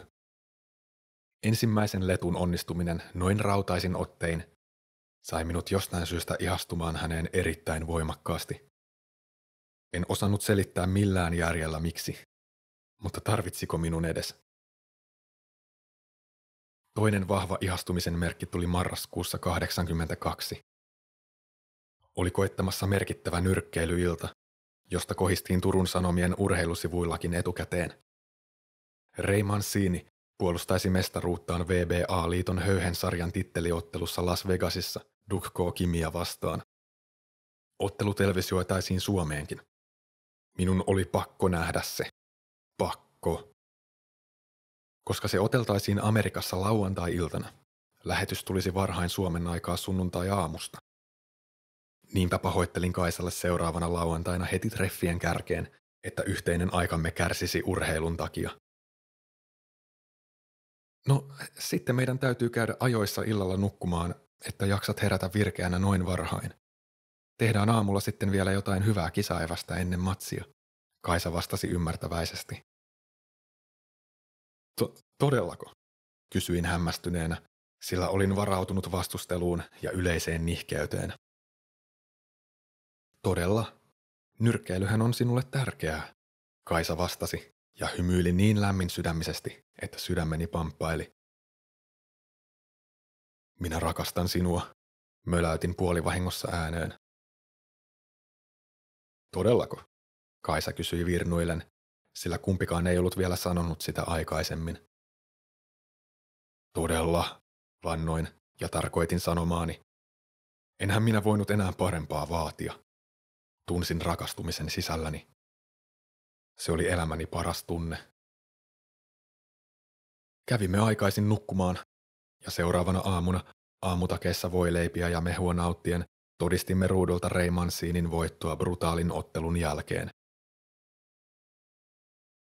Naiseen rakastumiseen tarvittiin lopulta paljon vähemmän, mitä olin kuvitellut. Onnistunut ensimmäinen lettu ja urheilun seuraamisen hyväksyminen riittivät sen lisäksi, että elämäntilanteet sopivat yhteen. Vähät maailmankatsomuksesta, mielipiteistä tai vaikutusvallasta. Toiseen ihmiseen rakastuminen oli kiinni ihan muista asioista, mitä äkkiseltään luulisi. Se oli kiinni pienistä hyvistä merkeistä, joille täytyi vain antaa suuri arvo. Kun nuo toisen ihmisen pienet hyvät merkit nostaa maailman suurimmiksi hyviksi puoliksi, näkee hänessä rakastumisen aihetta. Siinä pikku kikka tosi rakkauden löytämiseen. Arvosta kumppanin pienet hyvät piirteet maailman suurimmiksi asioiksi. Ja tämä pikku kikka tosi rakkauden löytämiseen. Sen oivalsin ihan itse. Sitä temppua taikurin ei tarvinnut opettaa. Tein itselleni lupauksen, että tekisin Kaisan eteen kaikkeni, siinä missä hänkin teki minun. Lupasin sen hänelle ääneen, ja sen luvattuani rakastuin vain vahvemmin. Sammumattomaan rakkauden liekin roihahtamiseen heitti lisää kipinää vielä muutama muukin ominaisuus Kaisassa. Ensinnäkin hänen kanssaan minusta tuntui mukavalta ja luontevalta olla hiljaa. Kumpikaan meistä ei ollut suupaltti, joten kummankaan ei tarvinnut höpötellä turhia. Hiljaa oleminen oli sitä paitsi mukavampaa, sillä silloin oli helpompi olla läsnä. Kosketus ja katse oli meidän ensisijainen kielemme. Ei turhanpäiväinen tyhjyyden täydennysrupattelu. Toiseksi, kerran kun Kaisa kysyi, miksi juuri hän oli herättänyt minun kiinnostukseni niin vahvasti, että olin lähestynyt baarissa juuri häntä. En halunnut valehdella hänelle. Kerroin hänelle, että olin oikeasti etsinyt vaimoa sopiviin paikkoihin menemällä tietyt ehdot mielessä ja hän oli sattunut täyttämään nuo ehdot sopivassa paikassa. Täten ajauduin kertomaan tikapuista ja kaikista muista tempuista ja mietteistä, mitkä liittyivät unelmien tavoitteluun. Ja minun oli myös kerrottava taikurista sekä symbolisesta hopeanauriista. Kaiken tämän kuultuaan Kaisa ei pahastunut siitä, että hän oli ikään kuin potentiaalinen vaimokohde muiden joukossa – ja että käytin hänen tapaamiseensa tikapuutemppua ehtoineen. Hän ymmärsi kumppanin etsimisen olevan ehdokkaiden arvioimista ja kokeilua. Eikä hän nauranut kerrottuani kaiken vierelläni kulkevasta taikurista, jota kukaan muu kuin minä ei koskaan nähnyt. Hän ei pitänyt minua hulluna tai tyhmänä. Se oli erittäin huojantavaa. Hän piti minua ainutlaatuisena ja hyväksyi minut sellaisena kuin olin. Lisäksi hänkin haaveili talosta luonnonhelmassa koiran kerran. Kissatkin kuulemma kelpasivat. Vihdoin minulla oli unelmatyö ja unelmavaimo. Niiden välinen tasapaino oli ristiriidan vastakohta, jonka perusteella uskalsin väittää olevani onnellinen. Luku 6. Ohjeet ajassa taaksepäin matkustamiseen. Vuonna 1984 olin kerennyt täyttää jo 30 ja moni asia oli muuttunut. Kaisalla ja minulle oli syntynyt ensimmäinen lapsi, ja näinpä olin päässyt harjoittelemaan vaipan vaihtoa oikein urakalla. Jotenkin kummasti Kaisa oli myös viimeisillään paksuna jo toiselle mukulalle. Minulla ei ole selitystä, miten näin oli päässyt käymään, mutta ei kai vastauksen löytäminen yliopistotutkintoa vaatisi. Tärkeintä kuitenkin oli, että visiostani oli mahdollista merkitä lasten saaminen suoritetuksi. Miellyttävä ura, kyllä. Ihana, kaunis vaimo, kyllä. Rakkaat lapset, kyllä. Talo luonnonhelmasta, kyllä. Sekin oli löytynyt parahiksi ennen ensimmäisen mukulan pullahtamista. No talosta oli edelleen velkaa, mutta takuu varma poismaksamistahti varmisti sen, ettei sellainen pikkuhaitta olisi ikuista. Lemmikki koirajakissa sekä siisti auto puuttuivat vielä. Mutta pitihän miehellä päämääriä olla. muuten sitä olisi mies vain hukassa. Taikurin hopeanauris kuitenkin näytti vasta kello 14. Siinä olisi vielä kahdeksan tuntia, tai 40 vuotta, aikaa käväistä autokaupoilla ja lemmikkiliikkeessä, kun hän vain muistaisi ja viitsisi käydä. Eikö paras päämääräsi voisi olla pyrkiä olemaan mahdollisimman hyvä isä lapsilleen vähintään seuraavat 20 vuotta, Juhani rakas, Kaisa ehdotti velmusti, ja varmasti oli oikeassa. Naiset olivat melko varmasti parempia asettamaan järkeviä tavoitteita elämään kuin miehet. Auto sai ainakin jäädä odottamaan prioriteettilistassa tuonnemmas. Mutta taide ei. Ruuhkavuosienkin keskellä kerkesin vielä maalata tauluja. Maalaaminen oli perheelämän takia siirtynyt viikon 20 prosenttiin vapaa-ajaksi lauantai- tai sunnuntai-iltoihin, mutta sehän olikin parasta mahdollista mielen rauhaa ja vastapainoa pienokaisten jatkuvalle kaitsemiselle. Vaikka taiteesta ei toistaiseksi ollut tullut vieläkään millään tapaa uraani, ainakin saavutin senkin saralla merkittäviä virstanpylväitä. Tarjottuani teoksiani säntillisesti ympäriinsä ja tehtyäni edes pientä nimeä alan piireissä ahkerasti vuosia, sain ensimmäisen taiden näyttelyni pystyyn. Vieläpä niinkin mehukkaaseen paikkaan kuin Suomen kansallismuseoon Helsinkiin. Maalauksilleni järjestettiin pari kuukautta kestävä pikkunäyttely kesäksi 84 kansallismuseon matkamuistomyymälän vierestä löytyvään pieneen tilaan. Taidenäyttelyssäni oli esillä kaikki 20 tähän asti maalaamaani taulua, vielä tallessa olevat klassikotkin, kuten Mädät hedelmät, Haikea kuljettaja ja Onnellisuuden ristiriita. Parhaalle paikalle ripustettiin tietysti näyttelyn kärkiteos, uusimpani, Keittoa lusikoiva mies. Uusimmassa taulussani ei ensisilmäyksellä näkynytkään mitään muuta kuin kiltävä lattiaisessa keittiössä pöydän ääressä soppaa lusikoiva mies. Mutta taulun idea oli siinä, että mitä enemmän sitä katsoi, sitä enemmän siitä sai irti. Ensinnäkin taulun miehellä oli paitansa huppu syvällä päässään. Häntä varmaan ahdisti, ja hän halusi sulkeutua. Ehkä hän hautoi jotain kammottavaa päässään. Taulua tarkemmin katsoessa miehen soppalautasen pohjalla näytti, kuin sielläkin luisi pieni avain. Aikoiko ahdistunut mies syödä avaimen keittonsa mukana? Miksi? Ja mihin lukkoon avain kävi. Yhä tarkemmin katsoessa tajusikin, että miehen selän takana oli lukittu ovi. Keittiön jokin komero. Mitä komeroon oli lukittu? Yrittikö mies avaimen syömällä varmistaa, että kukaan ei voi vapauttaa sitä, mitä komeroon oli lukittu? Yhä vaan tarkemmin katsoessa nimittäin näytti siltä, että joku jyskyttäisi komeron ovea sisäpuolelta nyrkillä Taulussa oli kapeita viivoja, jotka kuvailivat oven tärinää. Oliko komeroon siis lukittu toinen ihminen, joka halusi sieltä pois? Ehkäpä miehen vaimo. Ja vieläkin tarkemmin katsoessa saattoi huomata, että kuvan alareunassa keittiön oven suusta pelkisti bensakanistereita. Ne olivat kaiketi tyhjiä. Oliko kiilto keittiön lattialla, siis ympäriinsä läikytettyä polttoainetta? Pyrkikö mies polttamaan talonsa? Vai oliko soppa, jota mies söi? Oliko se bensaa? Yrittikö mies itse murhaa myrkyttämällä itsensä, samalla kun yritti komeroon lukitun vaimonsa murhaa polttamalla koko talon? Mitä ihmettä soppaa lusikoivan miehen päässä oikein liikkui? Vai yrittikö taulun mies vain varmistaa, ettei jotkin kaapeissaan kolkuttelevat luurangot vahingossakaan tule esiin hävittämällä avaimen, kaapin ja itsensä. Yksi vaivainen muotokuva saattoi herättää enemmän kuin tuhat kysymystä itse teoksesta sekä sen maalanneen taiteilijan mielenterveydestä, mutta ei yhtään varmaa vastausta. Totuus oli se, että keittoa lusikoiva mies taideteos ei kertonut mistään ennalta määrätystä aiheesta, eikä taiteilijalla ollut nuppinurin kunhan vain piruuttani oli maalannut pohtijoiden kiusaksi jotain, mitä päähäni oli pälkähtänyt. Olin taidennäyttelyni avajaispäivänä itse paikan päällä pyörimässä, ja nautin virnuillen vierestä katsellen, kun vieraat ja taidekriitikot yrittivät analysoida, oh, ah, mistä nämä omituiset yksityiskohdat oikein kertovat? Mieleni teki vastata, etteivät yhtään mistään, mutta pidin mölyt mahassani.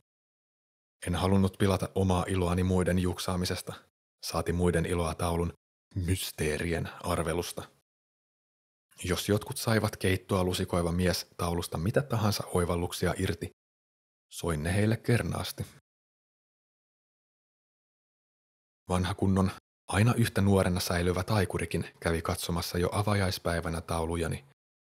Hän nyökkäili tyytyväisenä jokaisen teokseni tarkasti läpi silmäiltyään. Hän kehui minua ja paiskasi kättä kanssani lämpimästi. Minä tietysti kiittelin kovasti, muutenkin kuin pelkästä paikalle tulosta. Olihan taikuri auttanut minua ihan kaikessa, monena monena vuonna. Jutustelimme niitä näitä elämänmakuisesta matkastani kaksikymppisestä kolmikymppiseksi, mutta kukaan muu avajaispäivän vieras ei kiinnittänyt keskusteluumme mitään huomiota. Koko kesän 84 aikana pienessä taidenäyttelyssäni kävi yhteensä tuhansia katsojia. Tuskin kukaan oli tullut museoon pelkästään taulujeni takia, mutta vetovoimaisten oikeiden näyttelyjen ohessa ihmiset kerkäsivät minunkin töherryksiäni ja tulla ihmettelemään. Olin melkoisen otettu tästä kunniasta.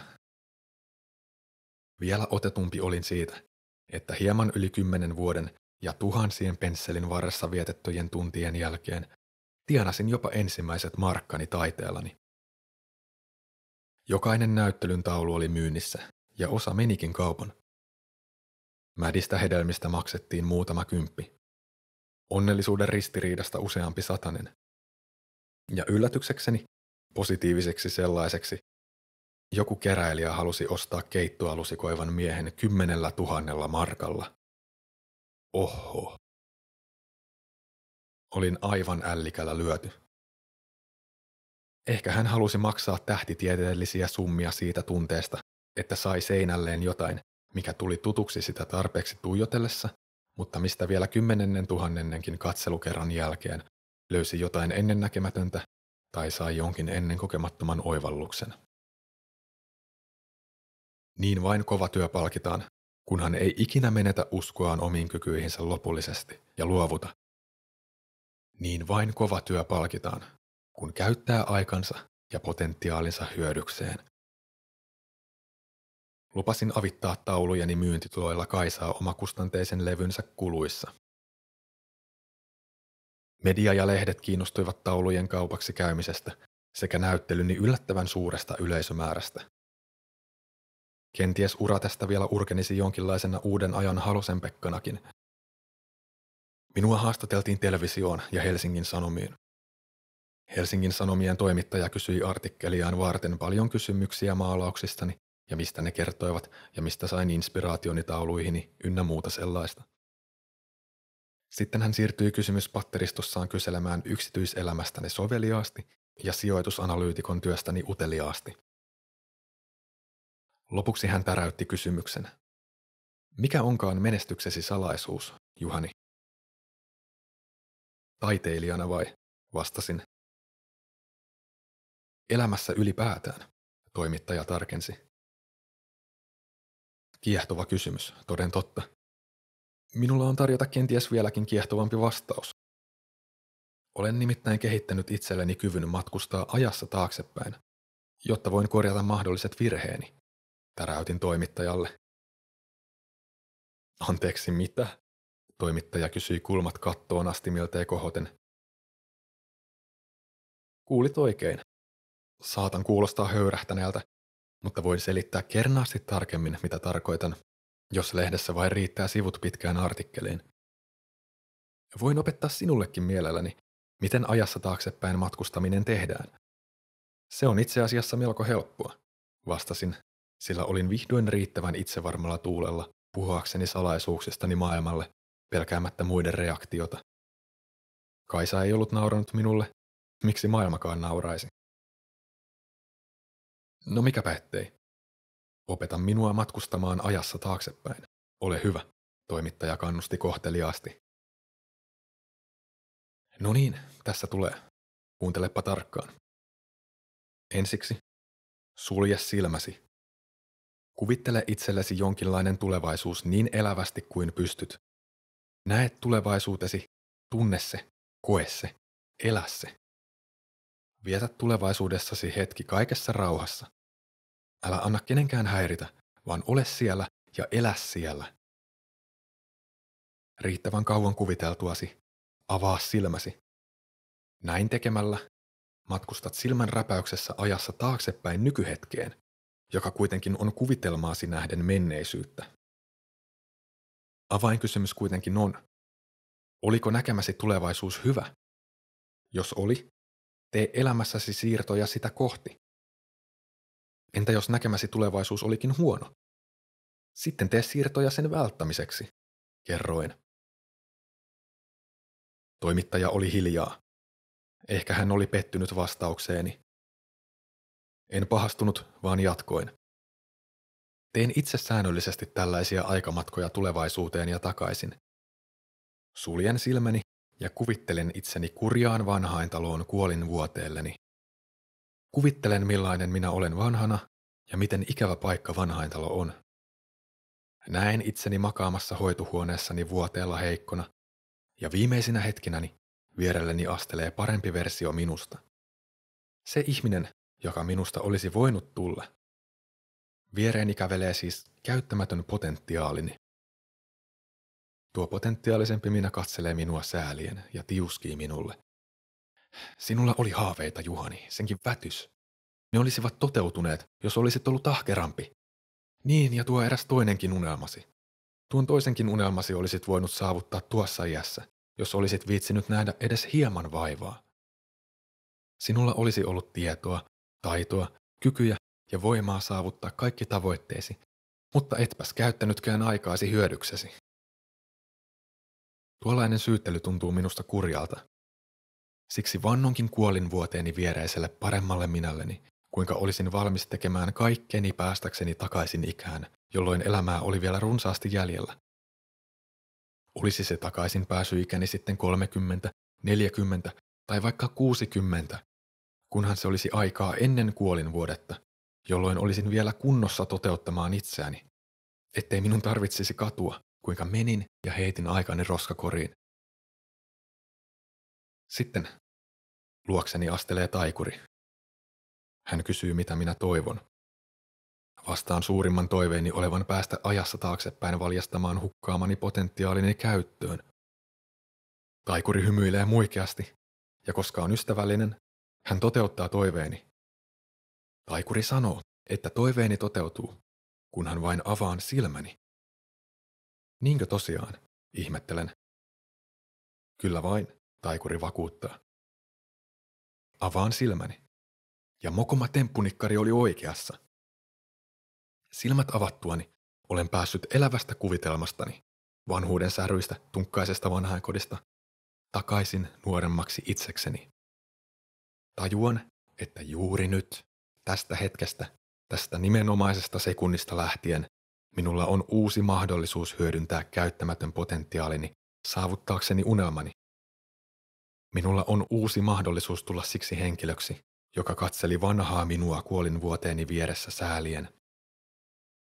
Ja jos edes yritän tulla häneksi, hänen ei ole enää tarvetta tulla säälimään minua. Kuvitelmani ei kuitenkaan vielä pääty tähän. Takaisin nuoremmaksi päästyäni saatan kuvitella itseni säntäävän vielä kello liikkeeseen, jossa tapaan taikurin uudestaan. Taikuri on ystävällinen ja antaa minulle lahjaksi hopeisen taskunauriin, joka näyttää jäljellä olevan aikani siten, että elinvuoteni vertautuvat tunteihin. Mitä pidemmälle tunnit tuossa taikakellossa etenevät, sitä vähemmän minulla on vuosia enää käytettävänä. Ikään kuin kellon tikittäessä tavallisena päivänä eteenpäin, tunnit vähenevät päivästä, vuodet vähenevät elämästä. Vuosien kulumista näyttävä kello tietenkin muistuttaa minua siitä, että aikaa ei ole hukattavaksi ikuisesti, joten minun on syytä muistaa tehdä säännöllisesti siirtoja unelmieni saavuttamiseksi. Tällaista kelloa on tietenkin mahdotonta oikeasti saada käsiinsä, ellei sellaista itse rakenna.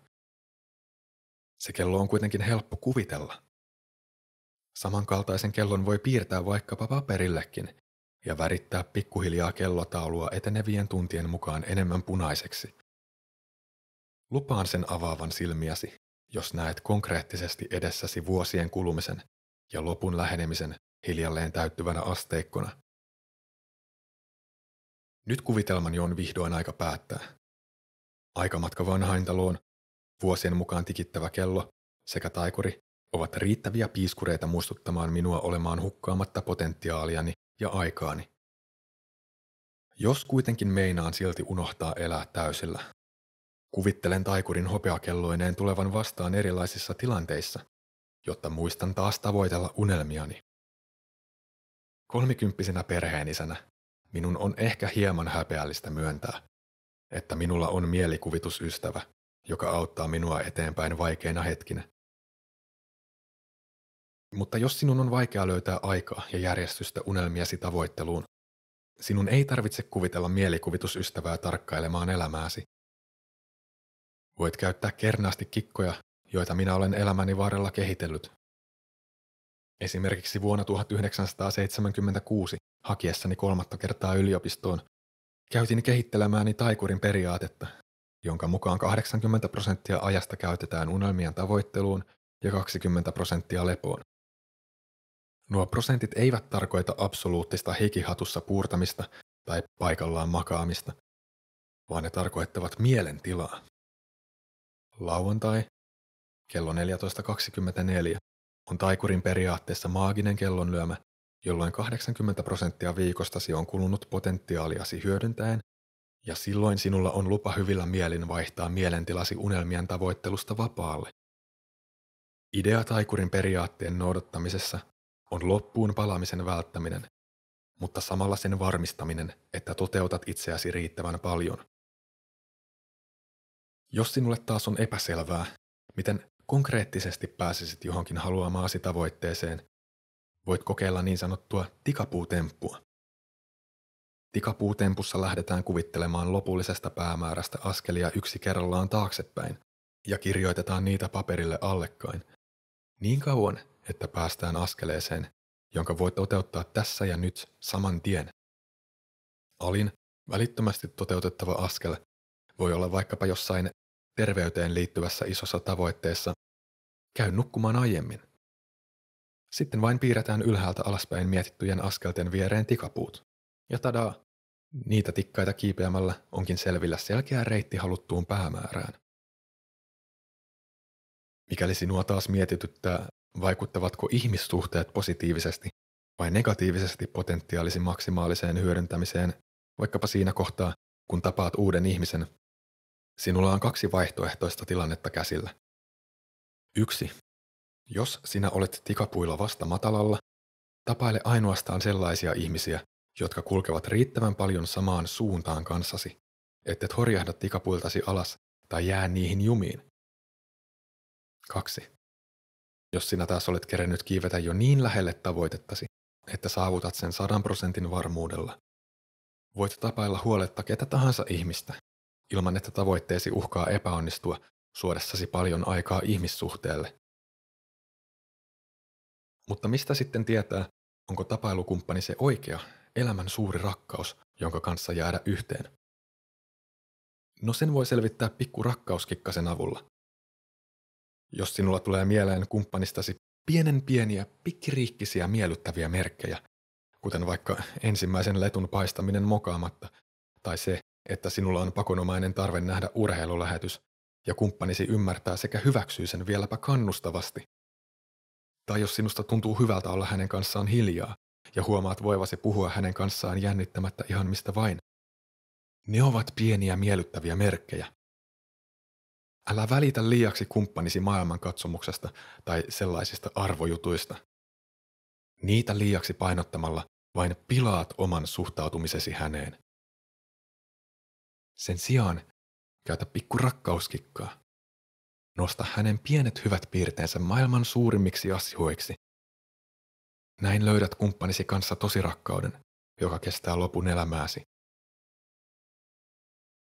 Eipä tähän niin sanottuun menestymiseen kai muuta tarvita kuin aikamatka kuvitteellisen taikurin avulla, vuosia näyttävä hopeakello, taikurin periaate, tikapuutemppu ja pikkurakkauskikka.